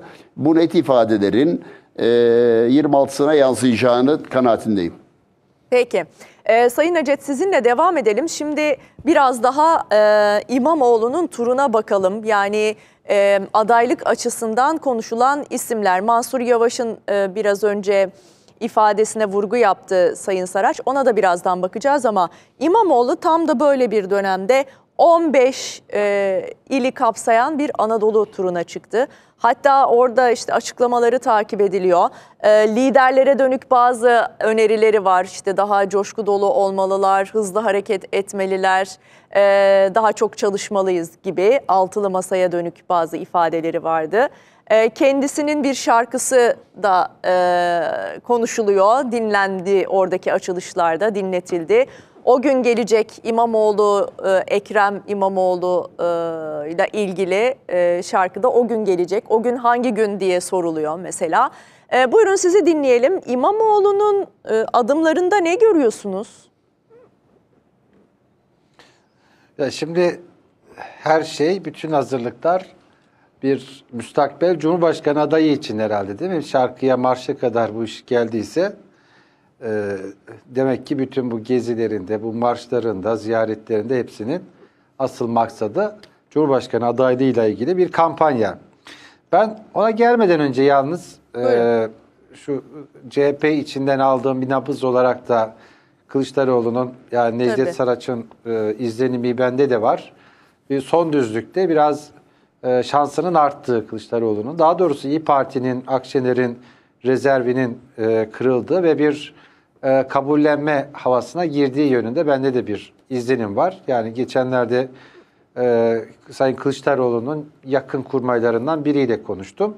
Onların söyledikleri orada, oradaki hava en azından e, İyi Parti kabullenmiş e, durumda Kılıçdaroğlu'nun adaylığını. Bunun arkasında da şöyle bir zemin var. E, bu da yansıdı zaten basına. Çeşitli gazeteci arkadaşlarımız da yazdılar. İyi Parti Akşener e, kendisi dışında orada bir Cumhurbaşkanı yardımcısı olmasını istemiyor. Yani bir e, bir Evet. senaryo, simülasyon olarak iktidara gelmeleri halinde oluşacak kabine e, pazarlıklarıyla ilgili. E, orada e, sadece kendisinin Cumhurbaşkanı yardımcısı olma, olması ve işte biraz yürütme yetkilerinin kendi üzerine toplanması gibi bir takım arzusu, talebi var. Buna da CHP'nin e, sıcak yaklaştığı yönünde bir izlenim var. Ama bir yandan da Ee, işte Davutoğlu'nun açıklamaları evet. var. Babacan'ın açıklamaları var. Yani Şöyle o onunla ters düşmüyor. Şöyle Başak Hanım. Nasıl? Buyurun. Şimdi bir defa orada da şuna başvurabiliriz. Ee, yani anlayabilmek için fotoğrafı. Ali Babacan bunu söylemişti. İki tane orada formül, senaryo konuşuluyor. Bir, e, bütün genel başkanların Cumhurbaşkanı yardımcısı olacağı bir senaryo. İki, ilkin yine Temel Karamollaoğlu'nun zikrettiği eşgüdüm kurulu e, oluşturulması ve genel başkanların orada görev yapması. E, Cumhurbaşkanı da önceden taahhütte bulunması adayın her kim olacaksa. Şimdi bu e, yani Temel Karamollaoğlu'nun zikrettiği Meral Akşener'in şart olarak gündeme getirdiği formülle örtüşüyor. Çok özür dilerim. Ee, Şöyle burada da zaten e, diğer yansıdı. partilere Bir sıralayayım mı müsaadenizle izleyicilerimiz için daha rahat anlaşılır tabii, olsun. buyurun. Ee, Tabii. Akşener'in aslında talebi ne? Ee, belki bir iki madde halinde, iki üç madde halinde aktarırsak daha net algılanacaktır. Diğer liderlerin Cumhurbaşkanı yardımcısı olması önerisine katılmıyor Sayın Akşener. Ee, tek bir Cumhurbaşkanı yardımcısı olsun diyor Sayın Hacet'in de ifade ettiği gibi. Cumhurbaşkanı yardımcısı parlamenter sisteme geçiş sürecine kadar başbakan yetkisiyle donatılsın fiili olarak başbakanlık yapsın istiyor. Yani başbakan olacağım açıklamasının düşünürsek buraya oturuyor galiba o açıklamada. Ee, ve geçiş sürecinin Evet. Cumhurbaşkanı yardımcısı e, Altılı Masa'nın ikinci büyük partisi olarak İyi e, Parti'nin olsun diyor işte Cumhurbaşkanı yardımcısı konusunda. Buyurun e, devam edelim. Şimdi biraz daha izleyicilerimize de Şimdi- netleştirmiş olduk. Ee, tamam. Şimdi burada tabii e, şeyle çelişmiyor burada. Sayın Davutoğlu'nun söyledikleriyle Meral Akşener'in istediği birbiriyle çelişmiyor. İki ayrı formülün burada dillendirilmesi hikayesi var. Burada zaten Akşener'in Cumhurbaşkanı yardımcısı olması halinde her partiye bir bakanlık verilmesi konusunda bir uzlaşma var bu formülde. İkinci formülde herkesin Cumhurbaşkanı adayı olarak kabinede yer alması e, var. Evet. Ama bu ikisinden biri konusunda bir karar verilmedi. Babacan e, ikincisine doğru bir eğilim olduğu, daha ağır bastığını söyledi ama belli ki yani Akşener'in e, buradaki arzusu, isteği de e, işte siz de az önce aktardınız. Yani bir sadece tek kendi başına bir Cumhurbaşkanı yardımcısı olması. Şimdi bunu şunun için biraz da zikrettim. Yani bu CHP bunu kabul ettiği takdirde o zaman da İyi Parti'nin Kılıçdaroğlu'nun adaylığını kabul etmesi için ya da en azından rezervini e, kaldırması için bir zemin oluşmuş olacak. Anlatabildim mi? Yani ben son döneme işte CHP içinde İyi Parti'nin rezervini kaldıracağına dair umudun artmasını bununla ilişkilendiriyorum. Yani Akşener'e eğer orada talebi karşılanırsa buna karşılık olarak da CHP yani Kılıçdaroğlu da eğer vazgeçmesi e, bu adaylıktan e, burada bir uzlaşma zemini çıkabilir. Benim e, bu gördüğüm, görebildiğim bu. Peki şunu sorayım. Şimdi İmamoğlu E, Madem İyi Parti olursak- hani Kılıçdaroğlu'nun adaylığı konusunda daha ılımlı diyoruz. O zaman Ekrem İmamoğlu ne yapıyor? Evet, şimdi Ekrem İmamoğlu'nun güvendiği bir dal var belli ki. Normalde şu çizdiğimiz senaryoya göre bu kadar e, atak ve hani gerekirse foto finişe kadar ben bu kavgayı sürdürürüm, bu mücadeleyi sürdürürüm gibi bir hava içerisinde kendisi. Burada benim görebildiğim yani Sayın Akşener'den istediği desteği son ana kadar alamayacağını görse bile başka başka güvendiği bir takım dallar var. Oralardan gelecek e, bir takım işaretler ya da oralardan gelecek bir takım telkinlere yani bu telkinler derken CHP ve Sayın Kılıçdaroğlu üzerindeki telkinlerden söz ediyorum. Oralara umut bağlamış durumda. Hala umudu devam ediyor. Şöyle biraz daha billurlaştırayım yani bu konuda söylemek istediğimi. Şimdi dışarısı, dışarısı dediğimde batı, batı derken de Amerika ve İngiltere özellikle e, burada Türkiye'deki bu seçimlerde İmamoğlu'nu aday olarak görmek istiyor. Başından beri bütün e, yazılarda e, batıda, batı basında çıkan yazıların hemen hemen tamamında ben e, yani iyi kötü biraz takip ediyorum. E, hep İmamoğlu üzerine bir odaklanma var. Yani e, Erdoğan'ın karşısında İmamoğlu e, yarışsın. E, çeşitli burada gerekçelendirmeler işte İstanbul seçimlerini aldı. Yaşı genç, Batı'yla ittifak yapmaya hazır vesaire. Dolayısıyla işte bu anlamda Türkiye'de Batı'yla ilişkileri iyi olan çevreler, iş çevreleri, iş dünyası, TÜSİAD vesaire oralardan e, kendisine bir kapı aralanabileceğini ne olursa olsun bu süreçte e, kendisi için bu şansın bu şans kapısının hala açık olduğunu e, ve buna dayanarak buna güvenerek e, bu şekilde hareket ediyor gibi bir intiba var e, bende. Dolayısıyla normal şartlara baktığımız zaman şu anda kendisinin e, masada adı geçmiyor. Yani altılı masada bir Ekrem İmamoğlu gündemi yok. Meral Hanım'da bakın ince bir nokta var. Ben onu bir iki kere daha dillendirdim. Arkadaşlar ne der bilmiyorum. E, Meral Akşener'de ben e, İmamoğlu ya da Mansur Yavaş'ı gündeme getireceğim demedi.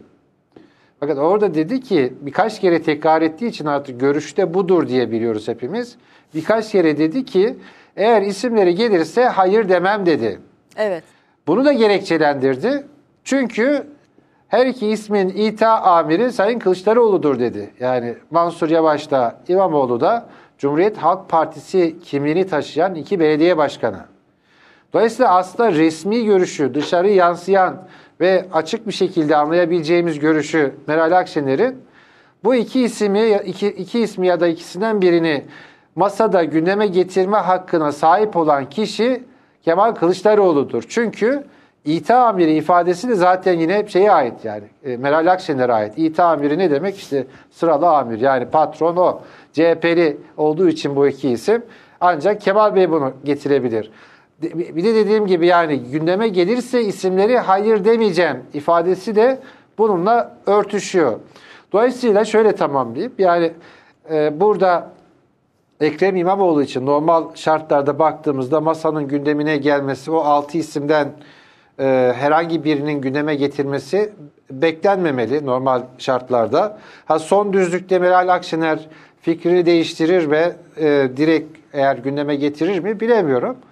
E, ama o zaman da işte yani o şeyi yaklaşımı değiştirmiş olacak. O zaman da Kemal Bey'e hani siz hep böyle diyordunuz şimdiye kadar deme hakkı doğar. Bir de şimdi böyle bir tarafı var.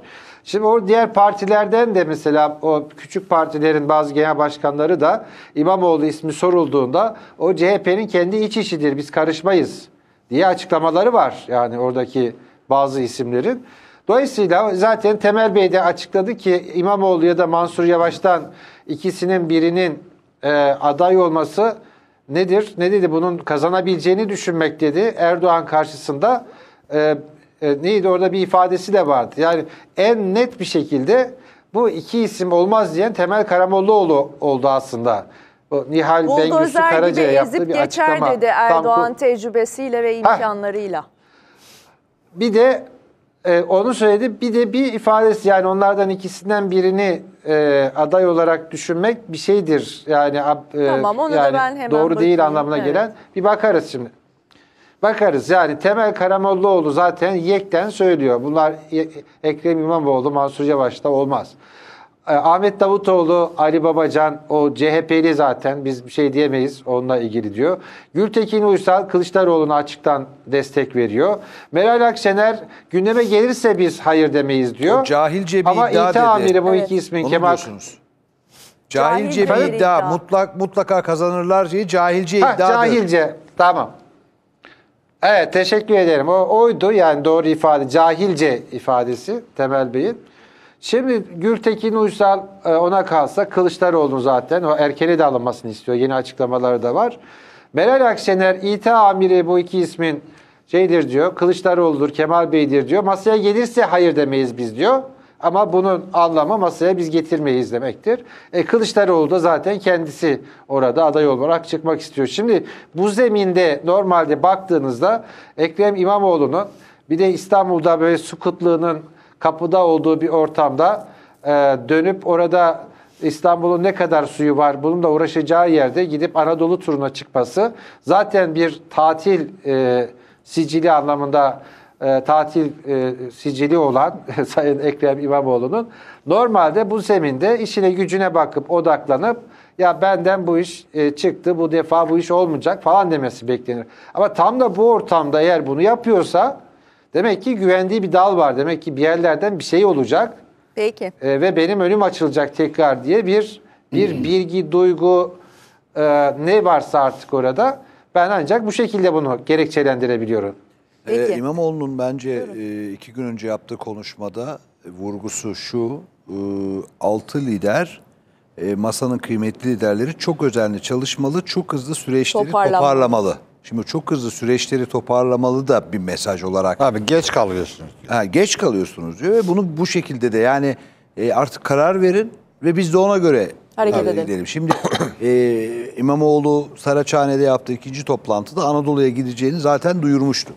Yani çıkacağını. Doğru. E, ve bu gezilerde şimdi baktığınız zaman tamam kendisi için çıkıyor yorumları sıkça yapılıyor ama tersten okuduğunuz zaman e, artık İmamoğlu sonuçta e, altılı masanın e, İstanbul Büyükşehir Belediye Başkanı. Neferiyim diyor ya. Ve Evet. ve yani kuşatılmış, iktidar tarafından kuşatılan ve bu isim şimdi kim aday olursa onun yanında yine il il gezecek ve onların destekçisi olacak. Zaten ne diyor? Mayıs'ta gidecekler diyor. Mayıs'ta millet sözünü e, söyleyecek diyor. Şimdi bu ne demek oluyor?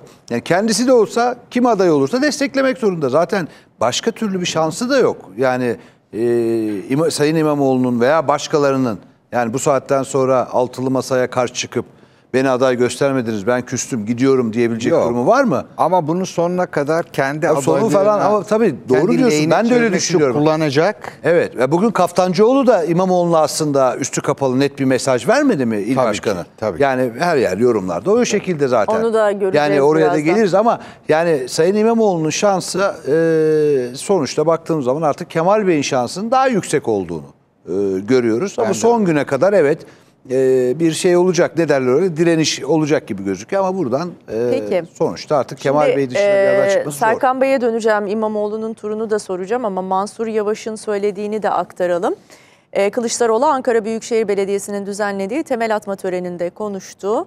Öncesinde e, adaylıklar için işte aday olarak konuşulan isimlerden Ankara Büyükşehir Belediye Başkanı Mansur Yavaş konuşmasında önemli bir ifade kullandı.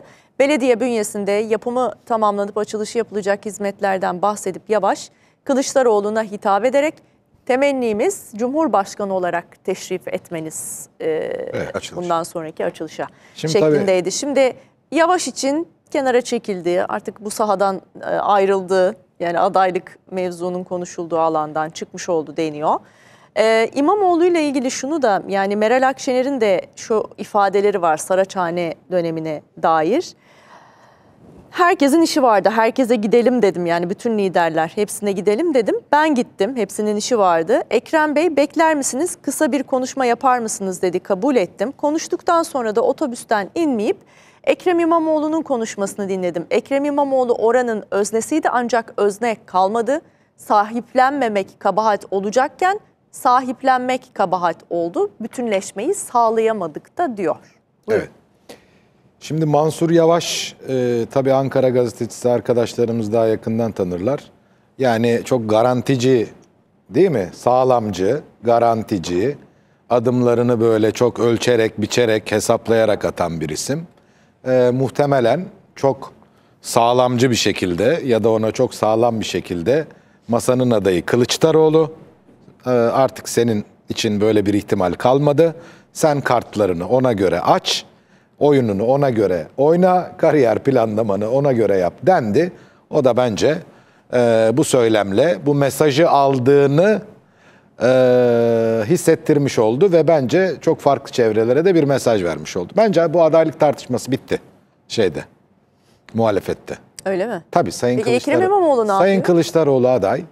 Ee, ben burada tabii bir hakkı teslim etmek mecburiyetindeyim. Her ne kadar çok sert tartışsak da Sayın Necdet Saraç burada belki 7-8 aydır en başından itibaren çok tutarlı bir şekilde e, muhalefetin adaylık konusunda herhangi bir sorununun olmadığını, adayın Kılıçdaroğlu olduğunu, olacağını çok net bir şekilde her programda çok tutarlı bir şekilde ifade etti ve ben onun öngörüsünün doğru çıktığını düşünüyorum ve bir hakkı teslim etmek adına kutluyorum, tebrik ediyorum. Yani doğru doğru yerden yakalamış ve baştan itibaren söylediği öngörüsü tuttu. Ee, ben bugünlerde sergilenen bu tartışmaların, bu yorumların filan sadece e, formalite icabı olduğunu düşünüyorum. Yani nedir işte masa ne yapacak? Bir takım belgeler hazırlaması lazım. Önce e, işte hükümet programı lazım, koalisyon protokolleri lazım. Ha demiştik ya adaydan önce bunları ortaya koyalım demiştik. İyi tamam adayımız Kılıçdaroğlu ama hadi biz bunları öne alalım, bunları bitirelim. Sayın Kılıçdaroğlu'nun adaylığını ilan etmek mecburen sonraya kalıyor filan. Yani şimdi burada e, ben Sayın Akşener'in de artık bu konuda ikna olduğuna dair e, bilgilerim var, duyumlarım var, kulislerim var. E, Melik Yiğitel de yanımda. Bilmiyorum ne der. Yani onu da merak doğru. ediyorum kulislerini. Ben artık Sayın Akşener'in eskisi kadar çok sert e, bir karşı duruş sergilemediğini duyuyorum. Ankara'dan her yerden duyuyorum yani bunu. E, ikna olma noktasında olduğunu yani artık ikna oldu da diyebiliriz diyorlar. Yani evet Kılıçdaroğlu'nun adaylığını Sayın Akşener'in kabul ettiğini söylüyor ama şöyle bir şey var. Tabii bu biraz da bir pazarlık süreci. Yani pazarlık süreçlerinin kendi doğasında var. Biraz kabul etmiyormuş gibi yapıp, biraz yokuşa sürüp alacaklarınızı artırmak, kendi menfaatinizi artırmak, elinizi güçlendirmek. Çünkü o bir protokol hazırlanacak.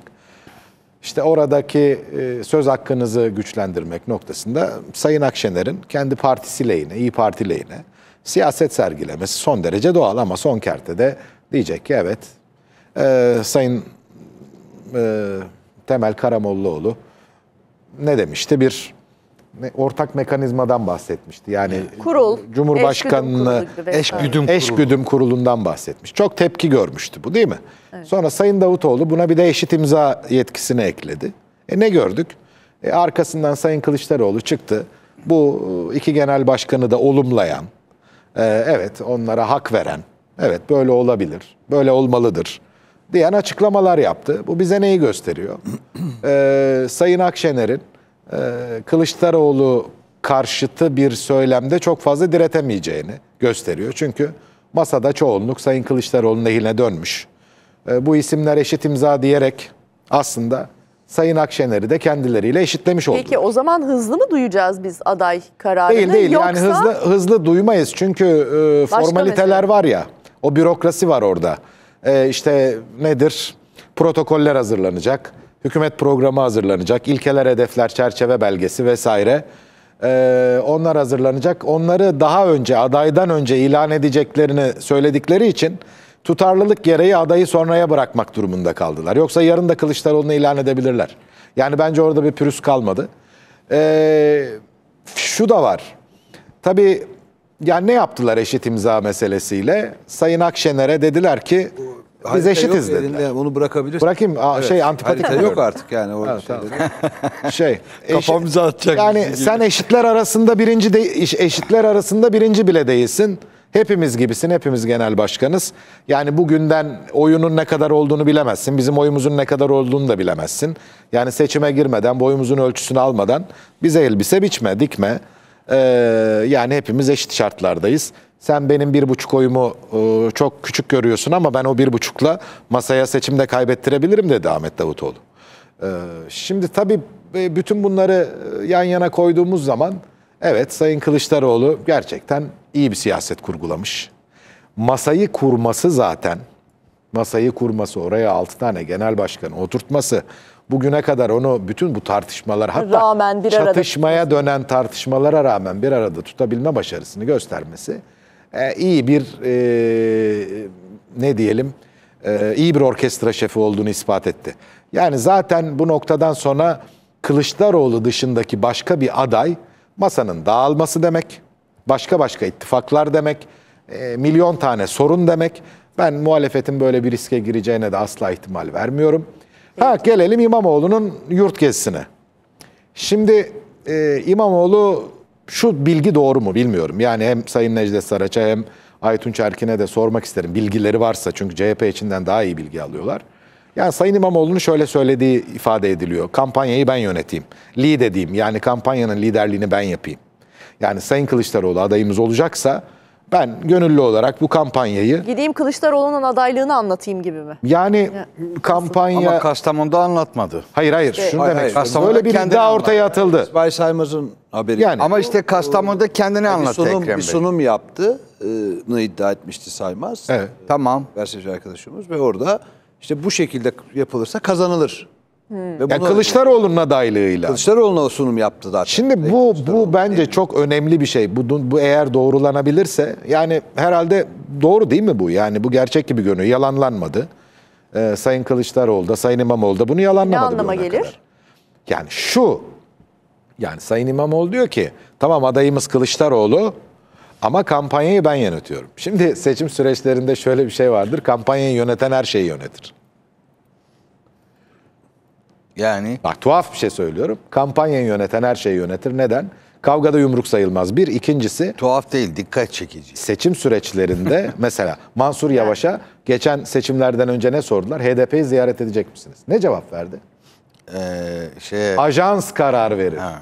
Yani kampanyayı yöneten karar verir. Ben karar veremem dedi. Ama şey yani hani bu çok kabul görecek bir öneri ya da istek olabilir Şimdi mi? bakın zaten Böyle bir durum varken zaten ortada. siz Bunu kampanyayı öğrenelim, mu? CHP adına Araya gideceğiz. Ha, CHP adına kampanyanın lideriyseniz CHP'nin genel başkanlığını Peki. aldınız demektir. Kısa fiilen. bir ara sonra devam edelim.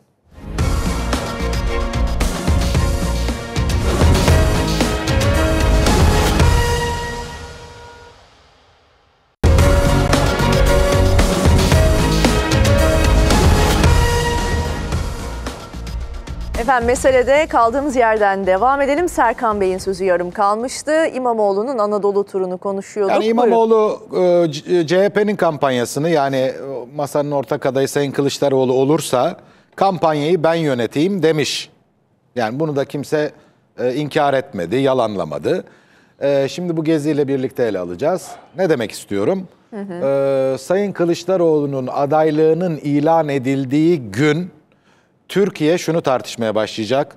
CHP'nin yeni genel başkanı kim olacak? CHP'nin yeni yönetimi nasıl şekillenecek? Bu doğal bir süreç. İster istemez bunu konuşuyor olacağız. Çünkü e, Sayın Kılıçdaroğlu'na yani sen artık aday oldun. E, artık e, CHP'nin yani genel başkanı değil, Türkiye'nin işte cumhurbaşkanı olacaksın. Ayrıca partisiz cumhurbaşkanı e, söyleminin en büyük savunucususun. Tutarlılık gereği bu rozeti Ama çıkarman lazım. seçilirsem, Seçimden sonra. seçilirsem bırakacağım dedi İşte zaten. orada bir tutarlılık sorunu e, tutarlılık sorunu ortaya Ya çıkmış şimdi- oluyor.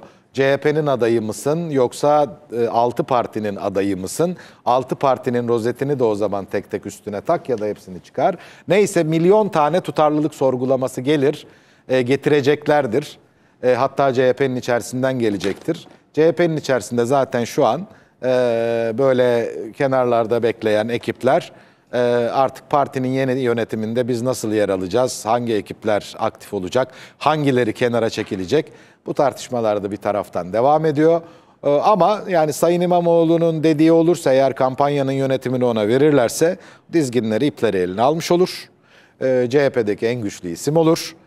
Partinin bundan sonraki yönetimini şekillendirme adına çok ciddi bir avantaj elde etmiş olur. Ayrıca gündemde kalmaya da devam eder. Etkinliğini de sürdürür. O siyasi geleceği. Her şekilde kârda olur diyorsunuz Yani kariyer yani. planı. Ha bir taraftan da şunu söyleyeyim. Sayın Erdoğan e, siyasi yasak aldı. E, cezaevinde yattı. Cezaevinden çıktıktan sonra bir Karadeniz gezisine çıktı. İşte Artvin'e kadar filan. İşte Artvin'de de kaldı bayağı.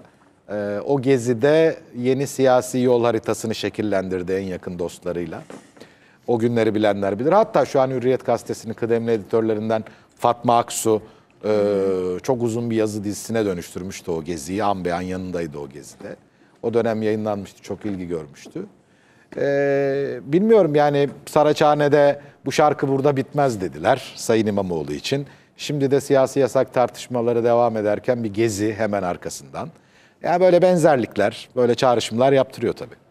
Serkan Peki. Fıçıcı Cumhuriyet Halk Partisi'nde adaylık tartışması başlatmaya çalışıyor ama 14 Mayıs gecesi altılı masa kazandıktan sonra esas tartışacağımız konu AKP'de ve MHP'de ne olur? Biz buraya bakalım. Yani şimdi CHP'nin genel başkanı kim olacak? CHP'de liderlik kavgası olacak. Sen 14 Mayıs gecesini düşün ilk önce. Yok yok ben E, seçimden Esas önce- meseleye bak sen. Seçimden Şimdi bırak önce şimdi. başlayacağını söyle. Bırak şimdi sen CHP'de aday kim olur? Olur. Zaten kazandıktan sonra CHP'de orada da olur, belli. orada da olur ama Bu sen tartışma bitti Hayır, bence. muhalefete düşmenin 20 yıl sonra muhalefetin düştükten sonra neler yapacağını bir düşün. O yol haritalarına bak. Yani e, Ekrem Bey'in Ya buradaki Ama öbür tarafı da düşünmek lazım. Yani muhalefette ya zaten Mehmet Acep Muhalefet düşünüyor. kaybederse de tabii bu tabii. isimler- Hayır. Ben de Serkan Ben Fıçı düşünüyor. Ben de bunu düşünüyorum. Yani sonrası iktidar ne yapacak? Ben de buradan bakıyorum pencere olarak. Yani Türker- başka, bir pencere var. Seçim öncesi- Ee, CHP'de tabii ki Kemal hepsine Bey aday olduk. bakmak lazım. Ay, 14 Mayıs çok önemli bir seçim. Evet Kemal Bey aday olduktan sonra e, tabii ki CHP'de Ya, bu olacak. güzel. Ama CHP'de seçimler bittikten sonra bu Hayır, hayır. başlıyor. Çünkü Bence- Kemal Bey e, seçimden sonra bırak çıkaracak Tabii, tabii, rozeti. O Kazandıktan sonra çıkaracak. ben de. O kazandıktan sonra çıkarıldıktan sonra CHP zaten e, kendi yolunda mutlaka birilerini Ya zaten bulur. tartışılacak Yani burada şey. esas olarak baktığın Ya zaman bir cenahı ne yapacak kaybederse. CHP'de bir grup diyecekler ki rozeti şimdi çıkar. Tamam. Yok. Aday olduğun an çıkar. Ay dedi geçen gün dedi ki seçimden sonra çıkaracağım Seçimden dedi zaten. Dedi. Seçimden sonra dedi. bence. Kaldı ki Çıkartacak bence Hayır, diyor. seçimden Necdet sonra ama. Önemli bir şey söylüyor. Necdet, At- e, Necdet Saraç. Duyamadık Sayın seçimden Saraç. sonra. Bakın yani olacağı sö- ben olacağı ol, yani olacağı söyleyeyim Başak Hanım. Buyurun. Kemal Kılıçdaroğlu'nun adaylığı kesinleştikten sonra Kemal Kılıçdaroğlu partiyi başkan vekiline bırakacak. Alın işte bomba Hayır, o doğru Kemal ama resmen bırakmayacak. Kemal Kemal Hayır, hayır, ya resmen bırakma süreci şeydir ama Kemal Kılıçdaroğlu Cumhur yani o anlamıyla CHP Genel Başkanı ifadesini kullanmayacak. Zaten tabii, ku- eminim hepinizin de dikkatini çekmiştir. Kemal şey. Kılıçdaroğlu uzunca bir süredir afişlerde, mitinglerde, toplantılarda Kılıçdaroğlu imzası kullanıyor. Yani CHP'nin yalnızca altı oku vardır. CHP logosu e, neredeyse yaptığı toplantıların tamamında e, sokaklardaki billboardlarda Kılıçdaroğlu vurgusu vardır. Yani Kılıçdaroğlu e, böyle bir süreç izleyecek ve e, sonuçta yalnızca altıda masanın değil bu süreçte Türkiye'de değişim isteyenlerin ortak adayıyım diye çıkacak. Bu öyle olunca, söyleyeyim. öyle olunca CHP'nin yönetimi de başkan vekiline Oğuz Kağan Salıcı mı şu an? Yok Faik Bey olacak. Faik Öztürk. Faik Öztürk. Faik gelince- Yani daha doğrusu ikisi de olabilir. Herhangi bir, Bir dakika MYK üyesi nasıl anlamalıyız edebilir. bunu yani genel başkanlığı bırakacak mı yoksa Hayır, hayır, görev- hayır. ne- nasıl bırakacak. Hayır, hayır. anlayacağız bunu? Necdet Saraç'ın peki, dediği tamam. doğru. Şöyle e, adaylığı resmen ilan edildikten Ayrıca sonra Faik parti işlerini Faik bırakacak. Öztürk de süreci yöneten isim olacak. Öyle Evet, ya partileri pa- parti işlerini bırakacak.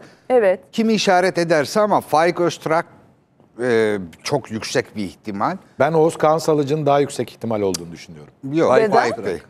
E, şimdi Faik Bey'e bırakacak büyük ihtimalle partiyi.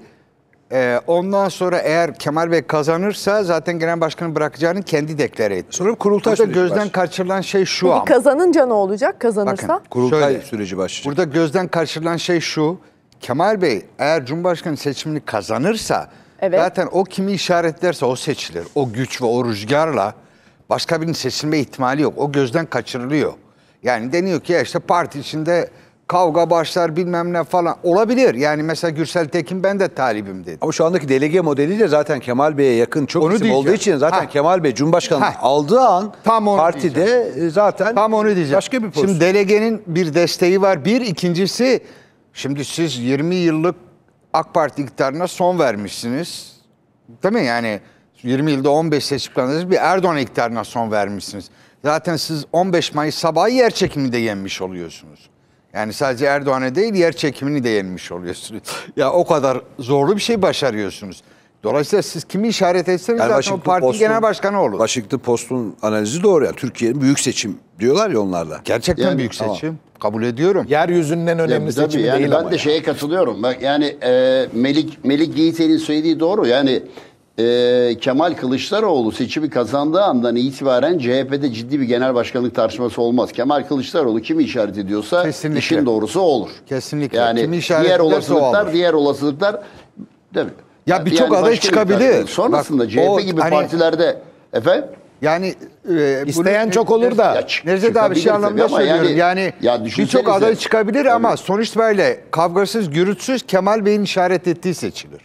Ha, anladım. Peki Kavga gürültü olmaz çünkü dediğiniz doğru 21 yıllık bir iktidar sona ermiş olacak. Tabii canım. yani 21 yıl çok önemli bir süre. Yani. Bu sona ermiş olacak. Ya şöyle bir şey giderek şekilleniyor gerçekten. Ee, yani ben de sürecin biraz daha da hızlanma ihtimalini güçlü görüyorum. Yani dikkatlerden kaçan bir şey var. Ee, İyi Parti Genel Başkanı Meral Akşener'in Diyarbakır'da sonra Şanlıurfa'da verdiği mesajlar önemli. Yani e, ne ifade ediyor Sayın e, Saraç? hem O, o da aslında bizim başlıklarımız arasında. çok, Hazır çok önemli. değindiyseniz Rızalık istedi buyurun. mesela. Bakın her şey bir yana, her şey bir yana e, Meral Akşener'e yönelik farklı açıklamalar vardı. Meral Akşener Diyarbakır'da rızalık istedi. Bu çok önemli bir kavram. Yani e, bu e, aslında bir takım e, kapıları da açacak şey ki olması gereken de tam da bu zaten. Yani çünkü altılı masanın en önemli iddiası sorunları çözen yarının Türkiye'si kuran, yarın Türkiye'sini kuracak bir perspektifle hareket ediyorlar.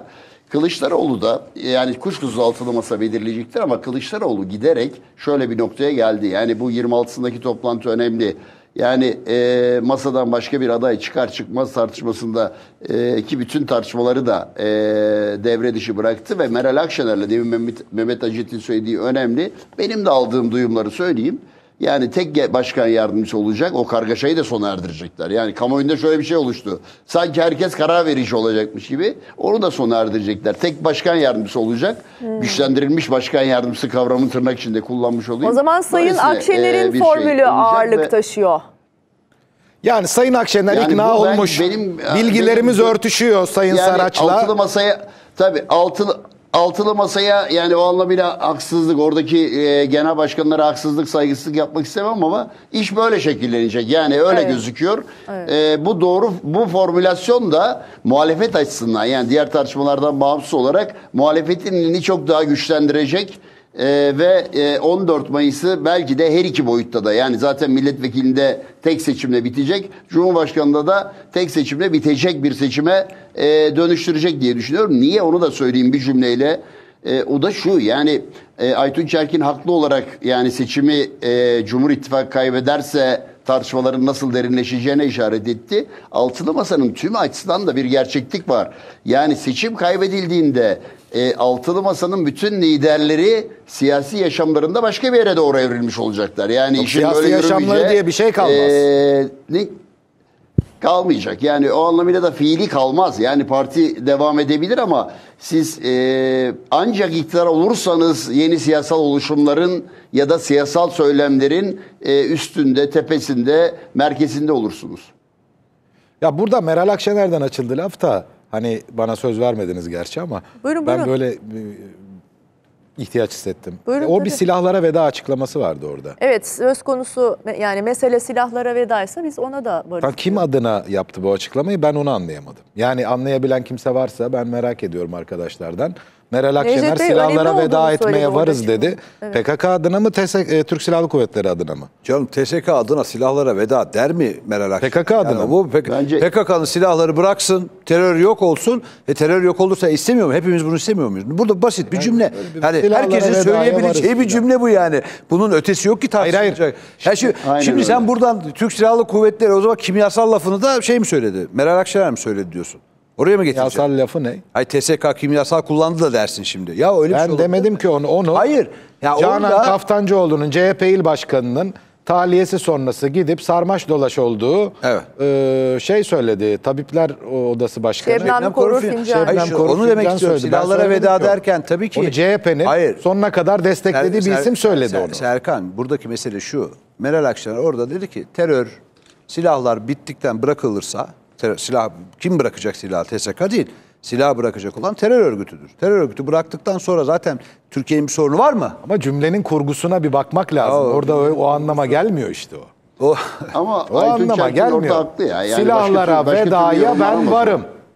Yani, Yani kim, birinin Bak adına şimdi söylüyor. HDP şöyle derse anlarız. Silahlara veda dediği zaman HDP evet yıllardır zaten söylüyor. Yani TSK da bıraksın. Hani saldırı olmasın, PKK'da bıraksın vesaire hani. Evet. E, o ama Meral Akşener'den sen böyle bir şey çıkarabilir misin Allah aşkınıza? O kadar Ya işte değil o yani. yüzden tuhaf geldi Yani diyorum ya tuhaf- Aytunç Erkin tuhaf Bana geldi tuhaf söz. geliyor. Yani Ernest Hemingway'in e, silahlara veda Farewell to Arms e, romanı geldi aklıma böyle. Böyle bir de böyle romantik böyle bir kitap ismini de çağrıştıran. mesele silahlara veda- Direkt aa bu başlığa çıkar manşet olur. Yani hele, hele Meral Akşener gibi bir e, sağ siyasetçi. Şöyle yani diyor. 90'ların sembol ismi e, Farewell to Arms derse böyle Hemingway'ce e, silahlara veda derse e, bunu Şimdi da benim gibiler tartışır. Kim adına de. diyor niye diyor filan Tamam, tam- denir yani Akşener de bunu az buçuk hesap edebilecek tecrübede Tamam. biri. Bir, e, şimdi tam ifadesini söyleyelim.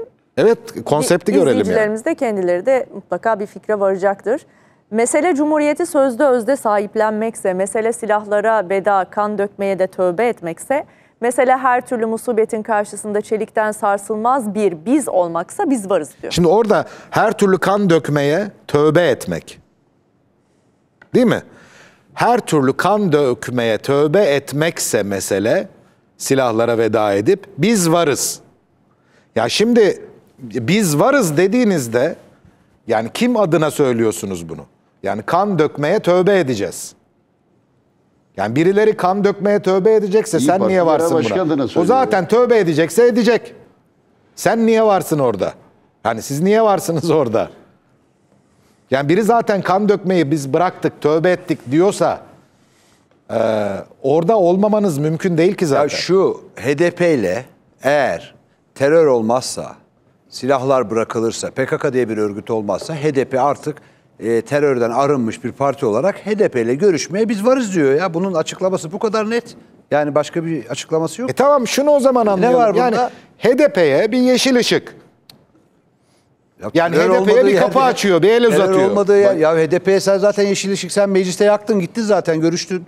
Ya Yani zaten yeşil ışık hikaye. yakmışsın. Mesele o değil ziyaret, ki. herkes yani gidiyor. terörü bıraktıktan sonra Allah aşkına elinde silah olmayan, terör örgütünün desteği olmayan bir HDP olduğu zaman kim ne diyebilir ki buna? Yani bir yol şey olur mu? yapılıyor. Hayır sen bir şey diyebilir misin?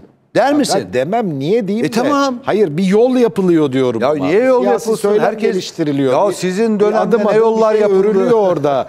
Yani HDP'yi alıştırma yani HDP ile ittifaka bu muhalif kitleleri hatta kendi parti tabanında yavaş yavaş alıştırma söylemleri gibi Terör, geldi terörün bana. olduğu yerde kimseye alıştıramazsın. Terör olmadığı Hanım. sürece.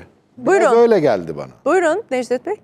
Ya şimdi e, ben ben mesela Akşener'in e, söylemini e, o anlamıyla Aytunç Erkin'e de e, destek vermiş olayım. E, bence anlaşılma, anlaşılacak yeri belli zaten. Yani sonuçta terör örgütüne diyor ki silahları bırak. Bu sorumlu bir yaklaşım ve ben kendisini merkez sağda konumlandıran İyi Parti'nin İyi Parti Genel Başkanı Meral Akşener'in bu söylemini önemsiyorum. Yani çünkü e, Altılı Masa'nın en önemli iddialarından birisi neydi? Ta 28 Şubat 2022'den itibaren biz e, bu ülkede kutuplaştırmalar ortadan kaldıracağız. Sorunların çözümüne müdahil olacağız. Altılı Masa'nın perspektifinde mevcut sorunları çözme e, var. Bu anlamıyla da ben son derece önemli e, ve e, doğru bir açıklama olduğunu düşünüyorum. O yüzden de Diyarbakır vurgusunu e, da bilerek e, yaptım. E, çünkü Türkiye'de eğer kategorize etmeyeceksen bir takım şeyleri kategorize bir, bir tek şey var. Kırmızı çizgimiz vardır. O silahtır. Yani terördür, şiddettir. Oraya sınırı koyduğunuz andan itibaren siz e, 85 milyonu kategorize etmezseniz 85 milyona yurttaş e, o eşit yurttaş olarak davranırsınız. Bu nedenle önemlidir. Bunun arkasında durulursa, bunun arkasında durulursa ben e, o anlamıyla eğer yorum yapılacaksa demin onu söylemeye çalıştım, söyledim de e, e, ortak aday Altılı Masa'nın Türkiye'nin 13. Cumhurbaşkanını belirlemedeki ortak adayda da Türkiye'deki 85 milyona ortak mesaj verilmiş olur e, kanaatindeyim. Şimdi Akşener'in iki Buyurun. konuşmasında iki tane önemli nokta var. Buyurun. Çok çok önemli nokta. Şimdi bir, ta- bir yerde diyor ki gelin bu demiri beraber dövelim, gelin zulmün çekicini zalimin elinden alalım. Bu e, Kürtlerde Nevruz Ergenekon. efsanesinde Demirci Kava'ya atıf vardır. İşte Demirci Kava zalim DAK'a karşı mücadele başlatır ve e, demircidir o. Elinde işte şey vardır, çekiç vardır. Ee, şimdi bir kere bu hani direkt şeye HDP tabanına da sıcak gelebilecek bir mesaj. Onu da anlatmaya çalışıyorum. Bu bir. iki. Bakın devam ediyorum. Diyor ki ben diyor MHP'deyken ve meclis başkan vekiliyken HDP'ye benden başka kimse söz vermezdi. En çok benim dönemimde HDP'ye söz verildi. Yani meclis başkan vekili. Şimdi bu Sıcak yapıyor. sıcak yapmak da zorunda. HDP Orada ama seçim- gerekçelendiriyor da bakın gerekçelendiriyor da cümlenin devamı var orada. Hayır hayır. Zaten HDP'siz seçim alınamaz da zaten. Yani bunu Sayın Akşener de gayet iyi biliyor. Altın Masa'dakiler de gayet iyi biliyor. Yani HDP, HDP mi o yüzden yani e, şeffaf müzakereler yapalım derken son açıklamasında Evet. altılı masa HDP bizim adayımızı bakın, desteklesin HDP aday dedi. çıkarmama e, işte dedi ya aday çıkaracağız diye. Bu Evet. aday çıkarma çıkışının en temel müsebbibi Sayın Akşener ve İyi Parti'dir. İyi Parti'nin süreci sürekli bir HDP'yi yok sayan böyle sektör tavırları HDP'yi bu noktaya getirdi. Şimdi Meral Hanım Diyarbakır'da HDP tabanına da sempatik gelebilecek mesajlar verdi. Gerçekten hani bunu kö- kötüleme anlamda söylemiyorum. Yani siyasi taktik anlamında bu söyledikleri o tabana da sıcak gelebilecek bir mesaj. Şimdi gelelim Sayın Akşener'in e, özellikle Kemal Bey çatı aday olursa bakın burada söylüyorum kayıtlara geçsin. Sayın Akşener çatı aday olursa HDP adayı göstermekten vazgeçebilir. Kılıçdaroğlu çatı adayı Ben olursa evet birkaç HDP aday söylüyorum. Bana sürekli diyorlar ki HDP kendi bağladı. Bağlayabilir. Bunun bir önemi yok. Ama yok ben de sizin gibi aslında algılıyorum. Yani Çünkü son Ahmet ana Türk kadar şunu konuş- söylüyorlar. Müzakere edebiliriz. Ortak aday üzerinden de konuşulabilir. Diyalog kanalları Artı şeyi pas geçmeyin. Bakın e, şimdi HDP diyor ki efendim HDP bir aday tarifi yapıyor. E yapar çünkü destek o da destekleyecek. Yani bakın şimdi tartışma bir tarafa. Şimdi Allah aşkına yani ben bunu küçümsemek anlamda söylemiyorum. Tamamen matematik verisi olarak söylüyorum. Şimdi dört tane küçük parti var orada.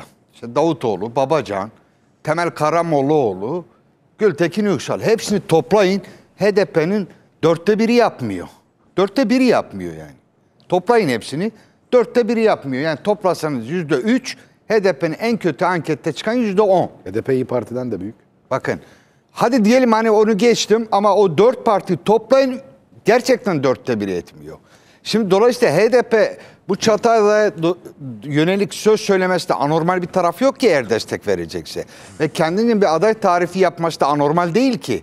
Yani şimdi mesela İyi Partilerin sürekli böyle çıkışı, sektör tavrı bence Sayın Akşener de bu sektör ve dışlayıcı tavrının kendilerine kazandıramayacağını gördü. Gördüğü için de Diyarbakır'da cidden hani böyle silahlara veda, silah olmayacaksa her şey konuşulur. İşte demirci kavaya atıf. Ondan sonra ben Hayır çalışılmış bir metin olduğunu ben ima etmeye çalıştım. e, e, çünkü ona da anlatıldı. İfadeler değil tamam. mi? Yani İçerik. ona da ona da anlatıldı yani bu HDP olmadan bu işin olmayacağı anlatıldı. Ve eğer HDP ilk turda aday çıkarırsa durumunda çok da riske edebileceğini gösterdi onlara. Ris- yani HDP aday çıkarırsa tek umut ne biliyor musunuz? İkinci tura bırakmak. Başka bir yani matematik ortada. Şimdi en yü- yüksekten eli açalım. Hadi CHP'ye 25 verelim. Tamam. Küsuratlı partile hadi 4 verelim. 0.75 0.50 ama biz 4 verelim. Yine aldı hesap makinesi. Etti 29. Seviyor. 29. Hadi İyi Parti 13 14 hesaplayın ya. 14 15 hesaplayın ya. 44 ya. Matematik ortada. Yani HDP'siz bu işin olmayacağı çok açık. Dolayısıyla Sayın Akşener de öyle ya da böyle bu işin idrakına vardı. Şimdi son dönemde mesela Yavuz Ağar Alioğlu'nun artık böyle sert, sektör, dışlayıcı açıklamaları yok. Kayboldu Sayın Ağar Alioğlu. Kayboldu. Çünkü HDP çok rahatsızdı ondan. Şimdi gelelim bu çatı adayla e, Tamam HDP ondan çok rahatsız da e, İyi Parti'nin içerisinde de bu HDP ile bir şekilde yakınlaşma sürecinden rahatsız olan isimler Var. var. Onların da MHP'ye blok halinde tekrar dönebileceği konuşuluyor. Ya Konuşulmuyor mu? O olabilir ve Ankara'da hani sen. kongrede de böyle bir tartışma olabileceği söyleniyor. İyi Parti kongresinde de. Şimdi ama sonuç itibariyle geldiğimiz noktada eğer Kemal Bey çatı aday olursa bakın tekrar söylüyorum HDP aday göstermekten vazgeçebilir. Ahmet Türk HDP üzerinde etkili bir isimdir. Onların akil adam pozisyonda. Onun dışında Sayın Mithat Sancar mesela Pervin Buldan'ın söylediğini biraz daha yumuşattı. Pervin Buldan dedi ki her hal ve koşulda kendi adayımızı çıkaracağız herkes ne olduğunu görsün. Sonra Sayın Sancar dedi ki ya bunu söylerken müzakere kapalıyız anlamında söylemiyoruz. Hala oturup konuşabiliriz dedi. Hemen Demir- ertesi günü söyledi. Demirtaş bugün açıklama yaptı. O da tuhaf bir açıklamaydı. Bir araya geleceğiz Dışarıda ya, içeride görüşemezsek içeride, dedi. görüşeceğiz hepimiz dedi. Değil mi Necdet abi onu kastediyorsun. Bu konuda ben birkaç Evet, dakika öyle. söz Evet. alabilir miyim? Tabii tabii buyurun Mehmet Bey sizin eklemek istediklerinizi rica edelim. Buyurun. Bu şeyle ilgili HDP'nin adaylığıyla ilgili Tabii. benim böyle genel kabullerden farklı bir yaklaşımım var. Yani sanki HDP aday çıkaracağını açıkladı gibi yerleşik bir kanaate dönüştü sanki o ilk Pervin Hayır, Buldan'ın yaptığı açıklama. Ama o öyle değil. Ee, biraz dikkatli bakınca zaten oradaki kritik ifade şu anki kararımız diyor Evet. Pervin Buldan. Devamını da işte hem Mithat Sancar getirdi, hem Selahattin Demirtaş getirdi, hem Oluç Sarıhan getirdi. Onların hepsinin söylediği biz müzakereye hazırız. Ee, yani eğer oturur konuşursak biz muhalefetin ortak adayına destek veririz. Aslında burada e, Selahattin Demirtaş'ın yani HDP'nin durumunu yansıtan en önemli cümlesi 3 Ocak'ta bir internet sitesinde yazdı. Biraz orada kullandığı ifade eğer muhalefet bloku bir ortak aday çıkaramazsa bu trajedi olur diyor. Bakın trajedi olur ifadesinin altını çizelim. Şimdi bu yani HDP böyle e, çok böyle eli güçlü tamam oy anlamında orada e, yani muhalefete altılı masaya vereceği oy onlar açısından çok kritik elbette. Ama bir tarafıyla da HDP böyle kendi başına kararlar alıp kendi başına adaylar çıkarıp böyle bir lüksü olan bir parti değil. Şimdi biz burada bir fotoğraf çekeceksek eğer analiz yapacaksak benim gördüğüm şudur. HDP Türkiye'de bir iktidar değişikliğine, Tayyip Erdoğan iktidarın değişmesine diğer bütün partilerden daha fazla muhtaç durumda olan bir parti konumunda. Niçin? Çok açık. Yani birincisi PKK'ya karşı e, terörle mücadelede elde edilen kazanımlar. PKK işte 2015'te sınırın içinde Suriye'deki sözde Rojava projesini Türkiye'ye taşıyıp e, burada fiili kantonal bir bölge e, oluşturmak için o hendek terörünü başlatmıştı. Oradan başlayan PKK'ya karşı mücadelede şimdi işte Suriye'de pek çok bölgede yani o kuşak projesine darbeler indirildi. Her gün işte Milli İstihbarat Teşkilatı orada PKK'nın, YPG'nin e, oradaki şeylerini, militanlarını etkisiz hale getiriyor. Ya Irak'ta 200 kilometre derinlikte operasyonlar yapılıyor. Bazen size burada bile rahat yok, burada bile kendinizi güvenli hissetmeyin mesajı veren operasyonlar. E bunlar şimdi HDP, PKK'nın siyasi uzantısı olduğuna göre HDP açısından ciddi bir sıkışıklık anlamına da geliyor. Bundan e, çıkmak için tekrar yani işte HDP'nin baktığı yerden bakmak lazım bu işlere. Onların baktığı yerden baktığınız zaman buradan bu yenilgi ortamından çıkmak için PKK'nın başını kaldıramadığı ortamdan çıkmak için Türkiye'de bir iktidar değişikliğine ihtiyacı var. Bir bu. İkincisi işte Anayasa Mahkemesi'nde kapatma davası. Hani partiyi kapatırlar yerine başka bir parti kurarlar ama orada e, partinin bütün önde gelen isimleri siyaset yasaklısı hale gelebilir bu kararın sonucunda. E şimdi o bakımdan da HDP Türkiye'de bir iktidar değişikliğini e, herkesten daha fazla ihtiyaç duyan bir e, parti.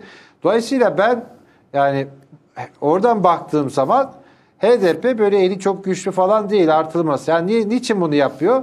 Biraz işte kendi tabanını sakinleştirmek için. Çünkü altılı masa da onların bu zayıf kanunu gördüğü için adam yerine koymuyor bazen. İşte en son Anayasa Mahkemesi geçici bloke kararı alınca hesaplara altılı masadan kimse e, şey yapmadı, ses çıkarmadı.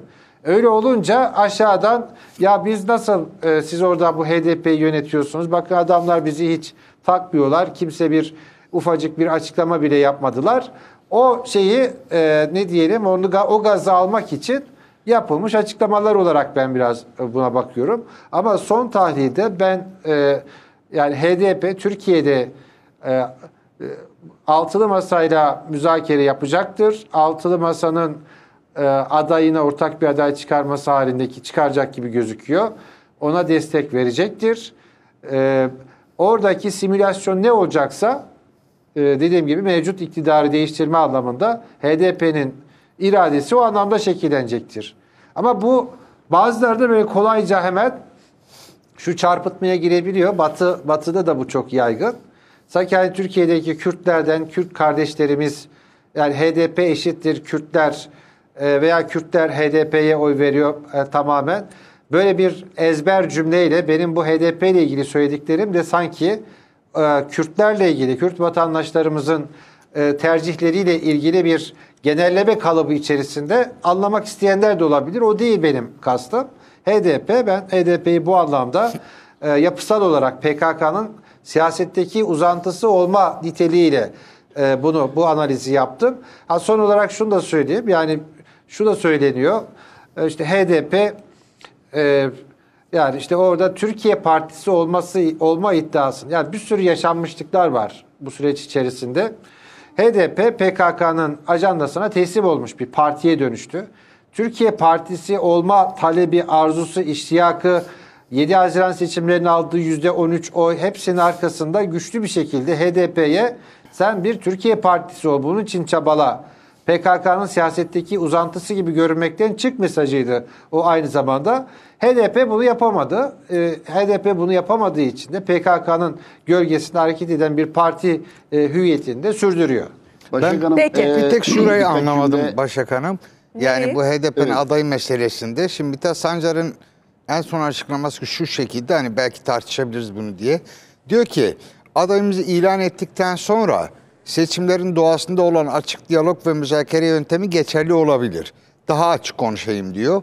Biz adayımızı çıkardıktan sonra ve altılı masada adayını çıkardıktan sonra gelin konuşalım, bunu müzakere edelim derse biz buna hayır demeyiz demeyiz diyor. Seçimlere giderken HDP adayını çıkararak yanlış yapıyor diyenlere söylüyorum diyor. Biz müzakere açığız. Şimdi bu şu anlama mı geliyor? Yani biz işte adayı ilan ettikten sonra e, eğer istediğimiz bir aday olursa gerekse o adayı çekeriz anlamına mı geliyor? Evet. Yoksa ikinci tura zorlarız. İkinci turda biz zaten sen destek veririz ama bu oturup konuşma karşılığında mı? Çünkü Sayın Sancar diyor ki adayımızı çıkardıktan sonra oturur müzakere ederiz. Peki Necdet Bey buyurun. Bu belki sorularla ilgili de ekleyeceğiniz var. Ee, şimdi ya bu önemli tabii ama yani e, Melik Yiğitel'in e, yaptığı seçim matematiği bir kere doğru. Yani siz istediğiniz kadar siyasi yorum yapın. E, işin ön planı ya da arka planını mutfağa tartışın. Gerçek şu yani bir seçim matematiği yapacaksak seçim matematiği hem 2018 hem 2019'da hem de kamuoyu yoklamalarla yansıyan matematik. Burada da HDP seçmeninin önemli ve belirleyici bir yanı var. Bir kere bunu teslim edip bir yana koymak lazım. Bir Kürt meselesi tartışmasına girmek istemem ama e, HDP'nin bu noktada, HDP şu anda bakın 2018 Cumhurbaşkanlığı seçimi çok e, adayla yapıldı. HDP'nin adayı Selahattin Demirtaş üçüncü oldu. HDP şu anda mecliste üçüncü kamuoyu yoklamalarında dördüncü parti pozisyonunda gözüküyor. Bazı kamuoyu yoklamalarında da üçüncü gözüküyor ama dördüncü gözüken bir parti. Aday çıkarabilir mi? Çıkarabilir. Çıkarması normal midir? Normaldir. Bir tartışma olabilir mi? Olabilir. Şimdi altıda masa özel olarak da e, Sayın Kılıçdaroğlu bir değişimden bahsediyor. Bu son derece önemli. Bu değişim Yalnızca Kılıçdaroğlu'na sınırlı bir şey değil. Bakın Meral Akşener önemli bir sloganı Türkiye'ye yeniden hatırlattı bir süredir. Yani yeni de değil. Kahrolsun istibdat, yaşasın hürriyet. Bu slogan aslında Türkiye'de temel bir değişimi öne çıkaran bir slogan. Ne zaman atılmıştı bu slogan?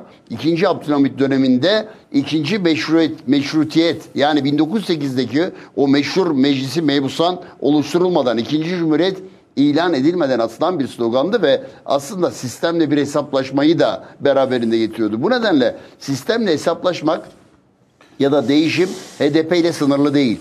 CHP ile sınırlı değil, İyi Parti ile de sınırlı değil. Yani Meral Akşener'in sloganı aslında bence bunların hepsini toparlıyor. Yani kahrolsun istibdat, yaşasın hürriyet. Buradaki temel şey şu.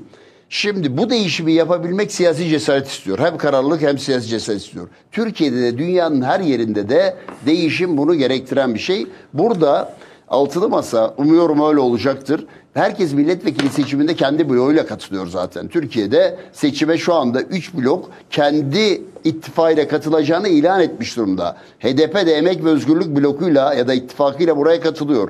Diğerleri de zaten Cumhur İttifakı ve Millet İttifakı düzeyinde görüyoruz. Bir dördüncü ittifak seçimlere katılabilir mi? Bu sosyalist güç birliği olabilir mi? Ya da Zafer Partisi, Memleket Partisi gibi oluşumlar iyi bir şey oluşturabilir mi? Bu e, henüz daha netleşmemiş bir şey. Ama belli olan bir şey var. Yani burada altılı masanın daha cesur olması gerekiyor. O da şu.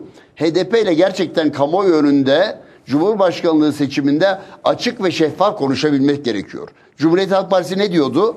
Kürt meselesindeki çözüm sürecine itiraz ederken ya bu işin yeri meclistir, bu işin yeri kamuoyunda konuşmaktır. E şimdi sen Türkiye'yi değiştireceksen ben e, o kararlılığın ve cesaretin altılı masadan çıkması gerektiğini düşünenlerdenim. Yani Cumhurbaşkanlığının ortaklaştırılması, adayın ortaklaştırılması e, meselesinde gerçekten de kapı arkalarında konuşmaya gerek yok. Kapı önünde Peki. konuşmak gerekiyor. Evet bu eleştirilecek mi? Eleştirilecektir ama böylesine bir şey Türkiye'de değişimi hızlandırır.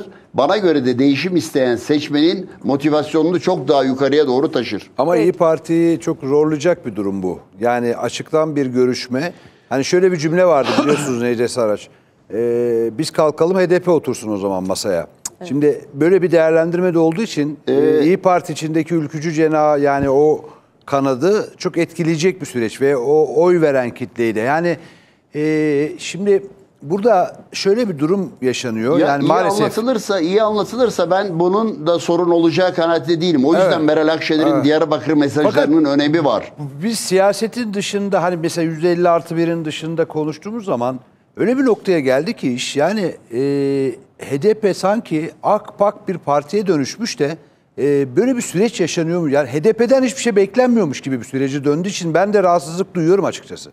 Ya ben de bundan rahatsız oluyorum. HDP de bir adım atmalı. Yani anlatabiliyor muyum? O terör konusunda vesaire. Yani şimdi CHP bugün Veli Ağbaba Tunceli'ye gitti mesela. Tunceli'de şunu dedi. Altılı Masa'nın adayı Altılı Masa'dan daha kapsayıcı olacak.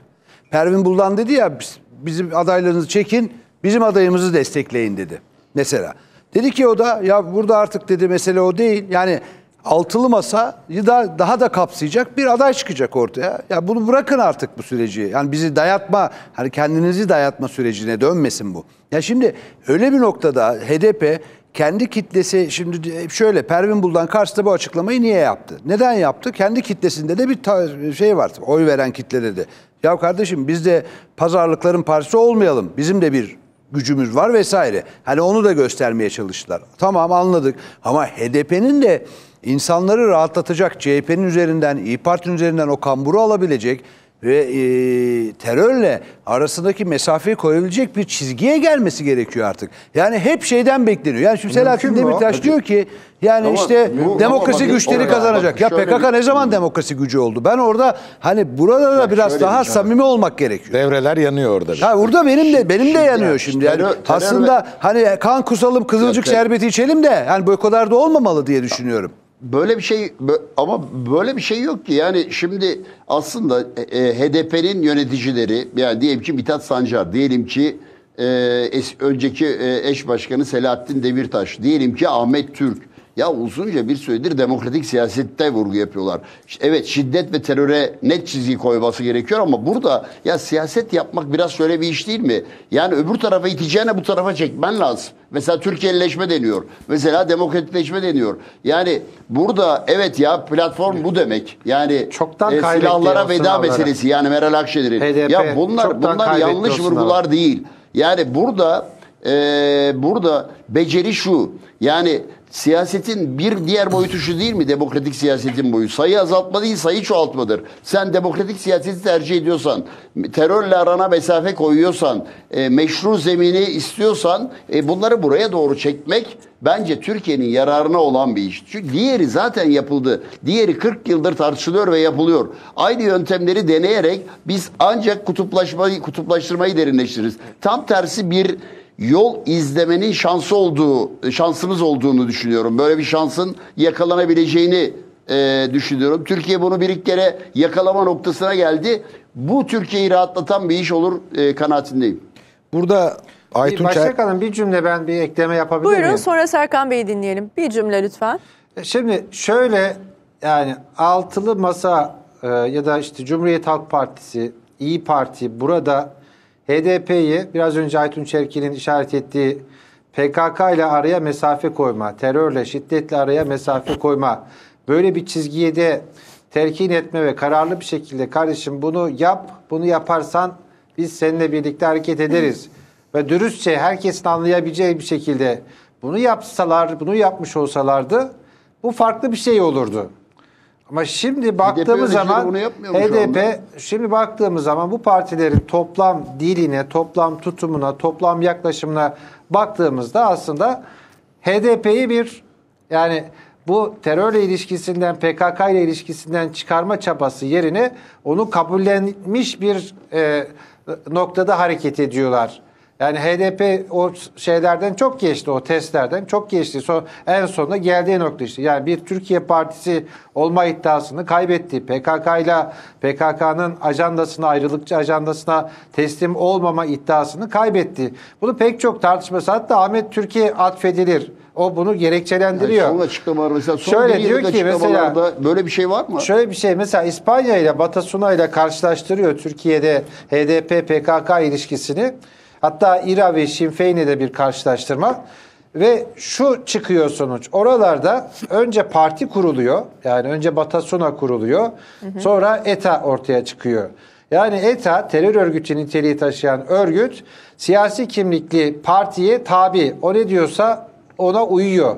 İngiltere'de de yine aynı şekilde bu barışa uzanılmasında Sinn Féin e, siyasi hareket olarak ortaya çıkıyor. İRA terör örgütü. İRA Sinn Féin'in taleplerine günün sonunda uyduğu için bu barış imkanı ortaya çıkıyor. Bizde tam tersi. Bizde önce terör örgütü ortaya çıkıyor, büyüyor, palazlanıyor. Bir sürü terör e, eylemi yerine getiriyor. Onun üzerine siyasi hareket e, başlıyor ve bu siyasi hareket bu bağımlılıktan hiçbir dönemde hiçbir şekilde çıkamıyor. İşlerinde var mı? Var. Yani işlerinde bundan rahatsızlık duyuyor. Yani bunu daha önce ben bunu burada gazeteci olarak pek çok e, şekilde bunun tanıklığını yapmış birisiyim. Yani. HDP'li sıfatını taşıyan milletvekili Evet. kapalı kapalı ortamda orada PKK dili ne diyorsa ona tabi oluyor. Çıkıyor arka planda ya ne yapalım biz de böyle bir çaresizlik içerisindeyiz diyor. Bu yani burada artık bir ezberlenilmiş bir çaresizlik hali var HDP açısından. Peki. Bu, bu anlamda da çok fırsat geçti önüne.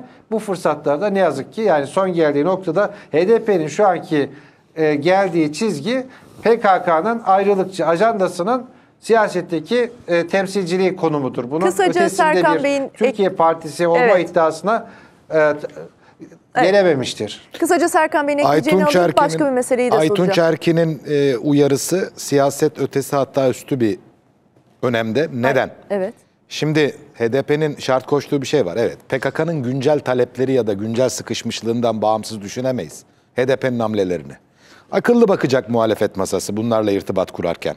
Dikkat edecek. Niye? Diyorlar ki biz açık e, görüşmeler yapmak istiyoruz. Şeffaf kamuoyunun önünde e, bizi tanıyacaksınız, meşru kabul edeceksiniz. Bizim taleplerimizi de karşılayabileceğinize dair güvenceler vereceksiniz. Peki. Kameraların karşısına çıkacaklar. Bir görüntü verecekler. Bunun o Batı medyasında dünyada yankılanma halini bir düşünün.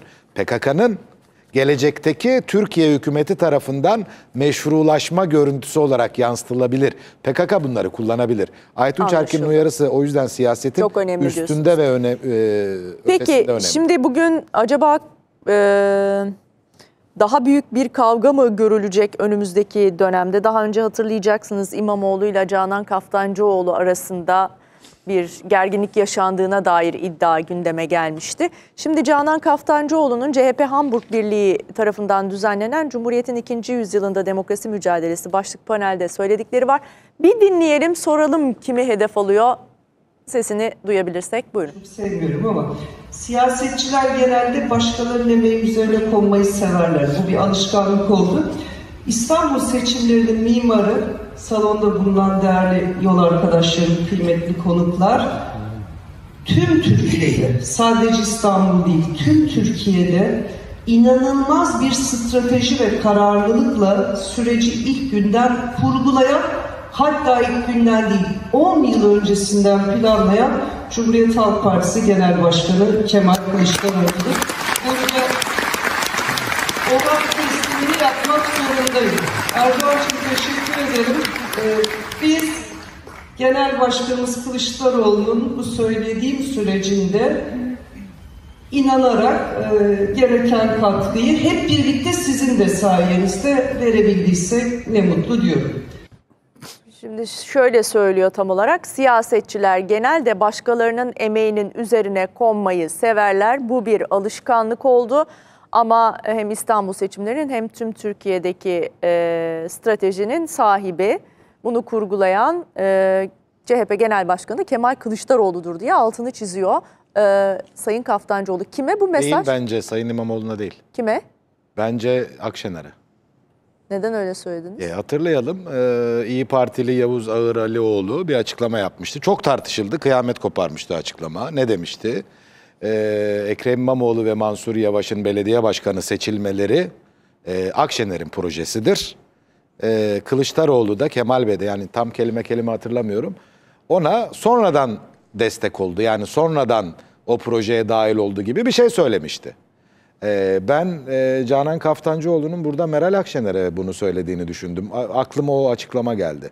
Yani varsa eğer arkadaşlar bulabilirlerse e, Yavuz Ağır Alioğlu'nun o ifadesini bence çok Siz örtüşüyor. oraya bence gönderme örtüşüyor. Yani hayır yani İmam o ah, Geldi. Evet. Oo, bravo ya. arkadaşlarımızın Ya hızına KJ operatörü arkadaşımı buradan tebrik ediyorum. Bu kadar hızlı template'i ben F klavye kullanıyorum. Yazarım da e, herkes yazamaz. Tebrik ediyoruz. Ee, evet. tebrik İyi ediyorum. Parti İstanbul Milletvekili Yavuz Ağralioğlu bu proje Mansur Yavaş ve Ekrem İmamoğlu'nun belediye başkanı seçilmeleri Akşener'in projesidir. Kemal Bey sonradan nezaketle destek Yani oldu buna demişti. bakarsak e, Sayın Canan Kaftancıoğlu diyor ki sonradan kon, konanlar oluyor başarının üstüne. E, sanki Mansur Yavaş'la Ekrem İmamoğlu'nun seçilmeleri Akşener'in projesiymiş gibi, başarısıymış gibi gösteriliyor. Bu doğru değildir. Bu tamamıyla Kemal Bey'in Kılıçdaroğlu'nun başarısıdır diyor. Bence bunu hatırladım. E, ama tabii şu anki durumlarını bilmiyorum. Sosyal medyada da şimdi baktığımızda tabii çok yorum görüyoruz, değerlendiriyoruz. Böyle İmamoğlu'na dönük Yok, ben öyle- algılayanların sayısı Ben da az artık- değil yani. Ben artık Canan %70 Kaftancıoğlu... İmamoğlu'na %30 Akşener'e. Ben İmamoğlu, İmamoğlu Bölüştürdü. ben İmamoğlu Canan Kaftancıoğlu tartışmalarının filan da yani artık bir gazoz misali gazının kaçtığını filan düşünüyorum. Peki. Çünkü Sayın Kılıçdaroğlu'nun adaylığı netleştiğine göre öyle görüyoruz. Ee, bu noktada artık e, bence bu tartışmalar bitti. Ben ha, son e, kertede derler ya Sayın Kılıçdaroğlu'nun tavrını Canan Kaftancıoğlu'ndan yana kullanacağını düşünürüm. Yani Sayın Kılıçdaroğlu'na deseler ki Canan Kaftancıoğlu mu Ekrem İmamoğlu mu? Bence Canan Yani Kaftancıoğlu işte tercih eder. Sayın Kılıçdaroğlu eğer aday olursa ve seçilirse sonrasında parti içinde olup biteceklerle ilgili bir nokta aslında. Sayın Kılıçdaroğlu seçilirse Canan Kaftancıoğlu'nu Ekrem İmamoğlu'na ezdirmez. Peki. E, Aytunç Bey nedir e, sizin Ee, görüşünüz? Çok Ha, buyurun. Hanım. Buyurun Necdet Bey çok da az vaktimiz kaldı. Buyurun. Ya, ya burada burada bakın burada yani e, yani e, çok uzun da bir süre kalmadı. E, yani tartışmanın e, asıl vurgusu bence Canan Kaftancıoğlu da doğru bir hak teslimi yapıyor. Bir kere onu öne çıkarmak lazım. Diğeri artık belirleyici olmaz. Yani Serkan Fıçıcı'nın söylediği önemli. Yani adaylıktan sonra sen ben kavgası olmaz ama şunu teslim etmek lazım. Yani 2017'den bu yana bu işi öğren isim Kemal Kılıçdaroğlu'dur. Yani 2017'de hem referandum süreci hem referandum sonrası adalet yürüyüşü hem 2018 hem de 2019 yerel seçimin mimarı Kemal Kılıçdaroğlu'dur. Yani sonuçta Kemal Kılıçdaroğlu Türkiye'de olmayacak bir işi becerdi. Yani farklı siyasi eğilimlerin yan yana yürümesini sağladı. Yani klasik söylemdir birçok yazımda da kullandım. Yani kaldırımda yürürken birbirlerini görenlerin kaldırım değiştirdiği bir ülkede farklı siyasi eğilimleri yan yana yürüten adam Kemal Kılıçdaroğlu'dur. Bu bu anlamıyla da e, CHP İstanbul İl Başkanı Canan Kaptancıoğlu'nun bu işin altını çizmesi doğrudur. Diğeri e, artık Türkiye siyasetinde yani ancak bir eleştiri olarak e, e, algılanabilir. Ben şudur diyemem yani şunu kastetmiştir diye ama asıl bana göre konuşmanın öznesi Kemal Kılıçdaroğlu hak teslimidir ve Kemal Kılıçdaroğlu yaşayarak göreceğiz. E, bu süreçte CHP içindeki farklı eğilimleri de önemli ölçüde e, ortak hedefe doğru yöneltti ve CHP için de düne göre bakıldığında e, kişisel bir takım çıkışlar olabilir ama ekipsel düzeyde farklı eğilimlerin olmadığını ve hedefe ortak e, kilitlendiği çok net. Bu nedenle bu tartışma e, Türkiye kamuoyunda çok fazla yer işgal etmez e, etmemesi de gerekiyor. Hele CHP açısından da etmemesi gerekiyor. Yani 3 ay sonra seçimin olduğu bir ortamda e, bence CHP kurmayları e, kişisel tartışmaları çok öne çıkarmamalı. Peki çok hızlı birkaç Evet ya cümleyle. zaten Aykut şöyle Bey. şunu şunu reddetmiyor kimse. Kaftancıoğlu'yla e, İmamoğlu arasında gerginlik yok. E, İstanbul yönetiminde tasfiyeler yok vesaire. Burada bir sıkıntı yok ama Kaftancıoğlu Hamburg'daki konuşmasında öncesinde sahneye şöyle anons ediliyor ya e, İstanbul seçimlerinin mimarı diye. E, onu düzelterek başlıyor. İstanbul seçimlerinin mimarı Kılıçdaroğlu'dur diyor. Siyasetçiler bunun üzerine, birileri bunun üzerine oturmaya çalışıyor diyor. İmamoğlu'nu da hedef alabilir, eleştirebilirdi ama e, ben e, şimdi artık söylediği için Sayın Kaftancıoğlu biraz daha rahat konuşabilirim. Biz e, vizyon toplantısından bir gün önce Sayın Kaftancıoğlu'yla e, Hilton Otel'de iki buçuk üç saate yakın sohbet ettik. Ve bu e, İstanbul'un da vesairenin de şunu biraz önce Sayın Saraç'ın kurduğu, Necdet Saraç'ın kurduğu cümleleri kurarak her şeyin şu andaki oluşumun sebebi Kemal Bey'dir dedi. Bu olmasaydı olmazdık durumunda. Ve bir Kemal Bey'e olan bağlılığını ifade etti. Ekrem Bey'e olan eleştirileri de vardı o sohbetimizde veya başka yerlerde de yapmıştı. Ama bugün e, Kaftancıoğlu'nun mesajının İmamoğlu'nun olması, ona olması diye bir durum yok artık. Yani bunların hepsi 2023 sonrası. Yani seçim sonrası, 14 Mayıs sonrası gündeme gelecek çok tartışma var. Kazanılır, kaybedilir. Kazanılırsa zaten bu tartışmaların büyük bir bölümü e, çöptür, artık arşive manşettir. E, yani Kemal Bey kazanırsa. Kemal Bey kaybederse CHP'de tasfiye edilen kadroların tekrar harekete geçmesi ve e, öne çıkması çok Mümkündür. tartışma olacaktır burada. Ama 2019 seçimlerinde evet Ekrem İmamoğlu'nu bulup ortaya çıkaran da baktığınız zaman e, Kemal Bey'dir. Bu da bir gerçekliktir. Bir gerçekliği hakkını vererek ortaya koymuştur Kaftancıoğlu. Aralarında gerilim var mı? Var. Bu da bir gerçeklik. Ama bu gerilim bugün belirleyici değil. Peki. diye Çok teşekkür ediyoruz Melik Yiğitel, Aytunç Uğur Erkin. Mumcu, Uğur Mumcu e, katledildi. E, yarın anılacak. Anılacak. E, gerçekten e, biz o antemperyalist ruhunu e, her yerde taşımamız gerektiğini düşünüyorum. Bir gazeteci olarak da, bakış açısı olarak da e, ve son birkaç yazısını öldürülmeden, suikastten önceki birkaç gün önce yazılan yazılarında herkesin baksın neden öldürüldüğüne dair Evet. de e, herhalde bir ipucu vardır Rahmetle anıyoruz. Rahmetle anıyoruz. Rahmetle anıyoruz. Çok teşekkürler Melik Yiğitel, Aytunç Erkin, Serkan Fıçıcı, Necdet Saraç ve Mehmet Acet. Sağ olunuz bu akşamınızı bize ayırdınız. Size de teşekkür ediyoruz efendim izlediğiniz için. Hoşçakalın.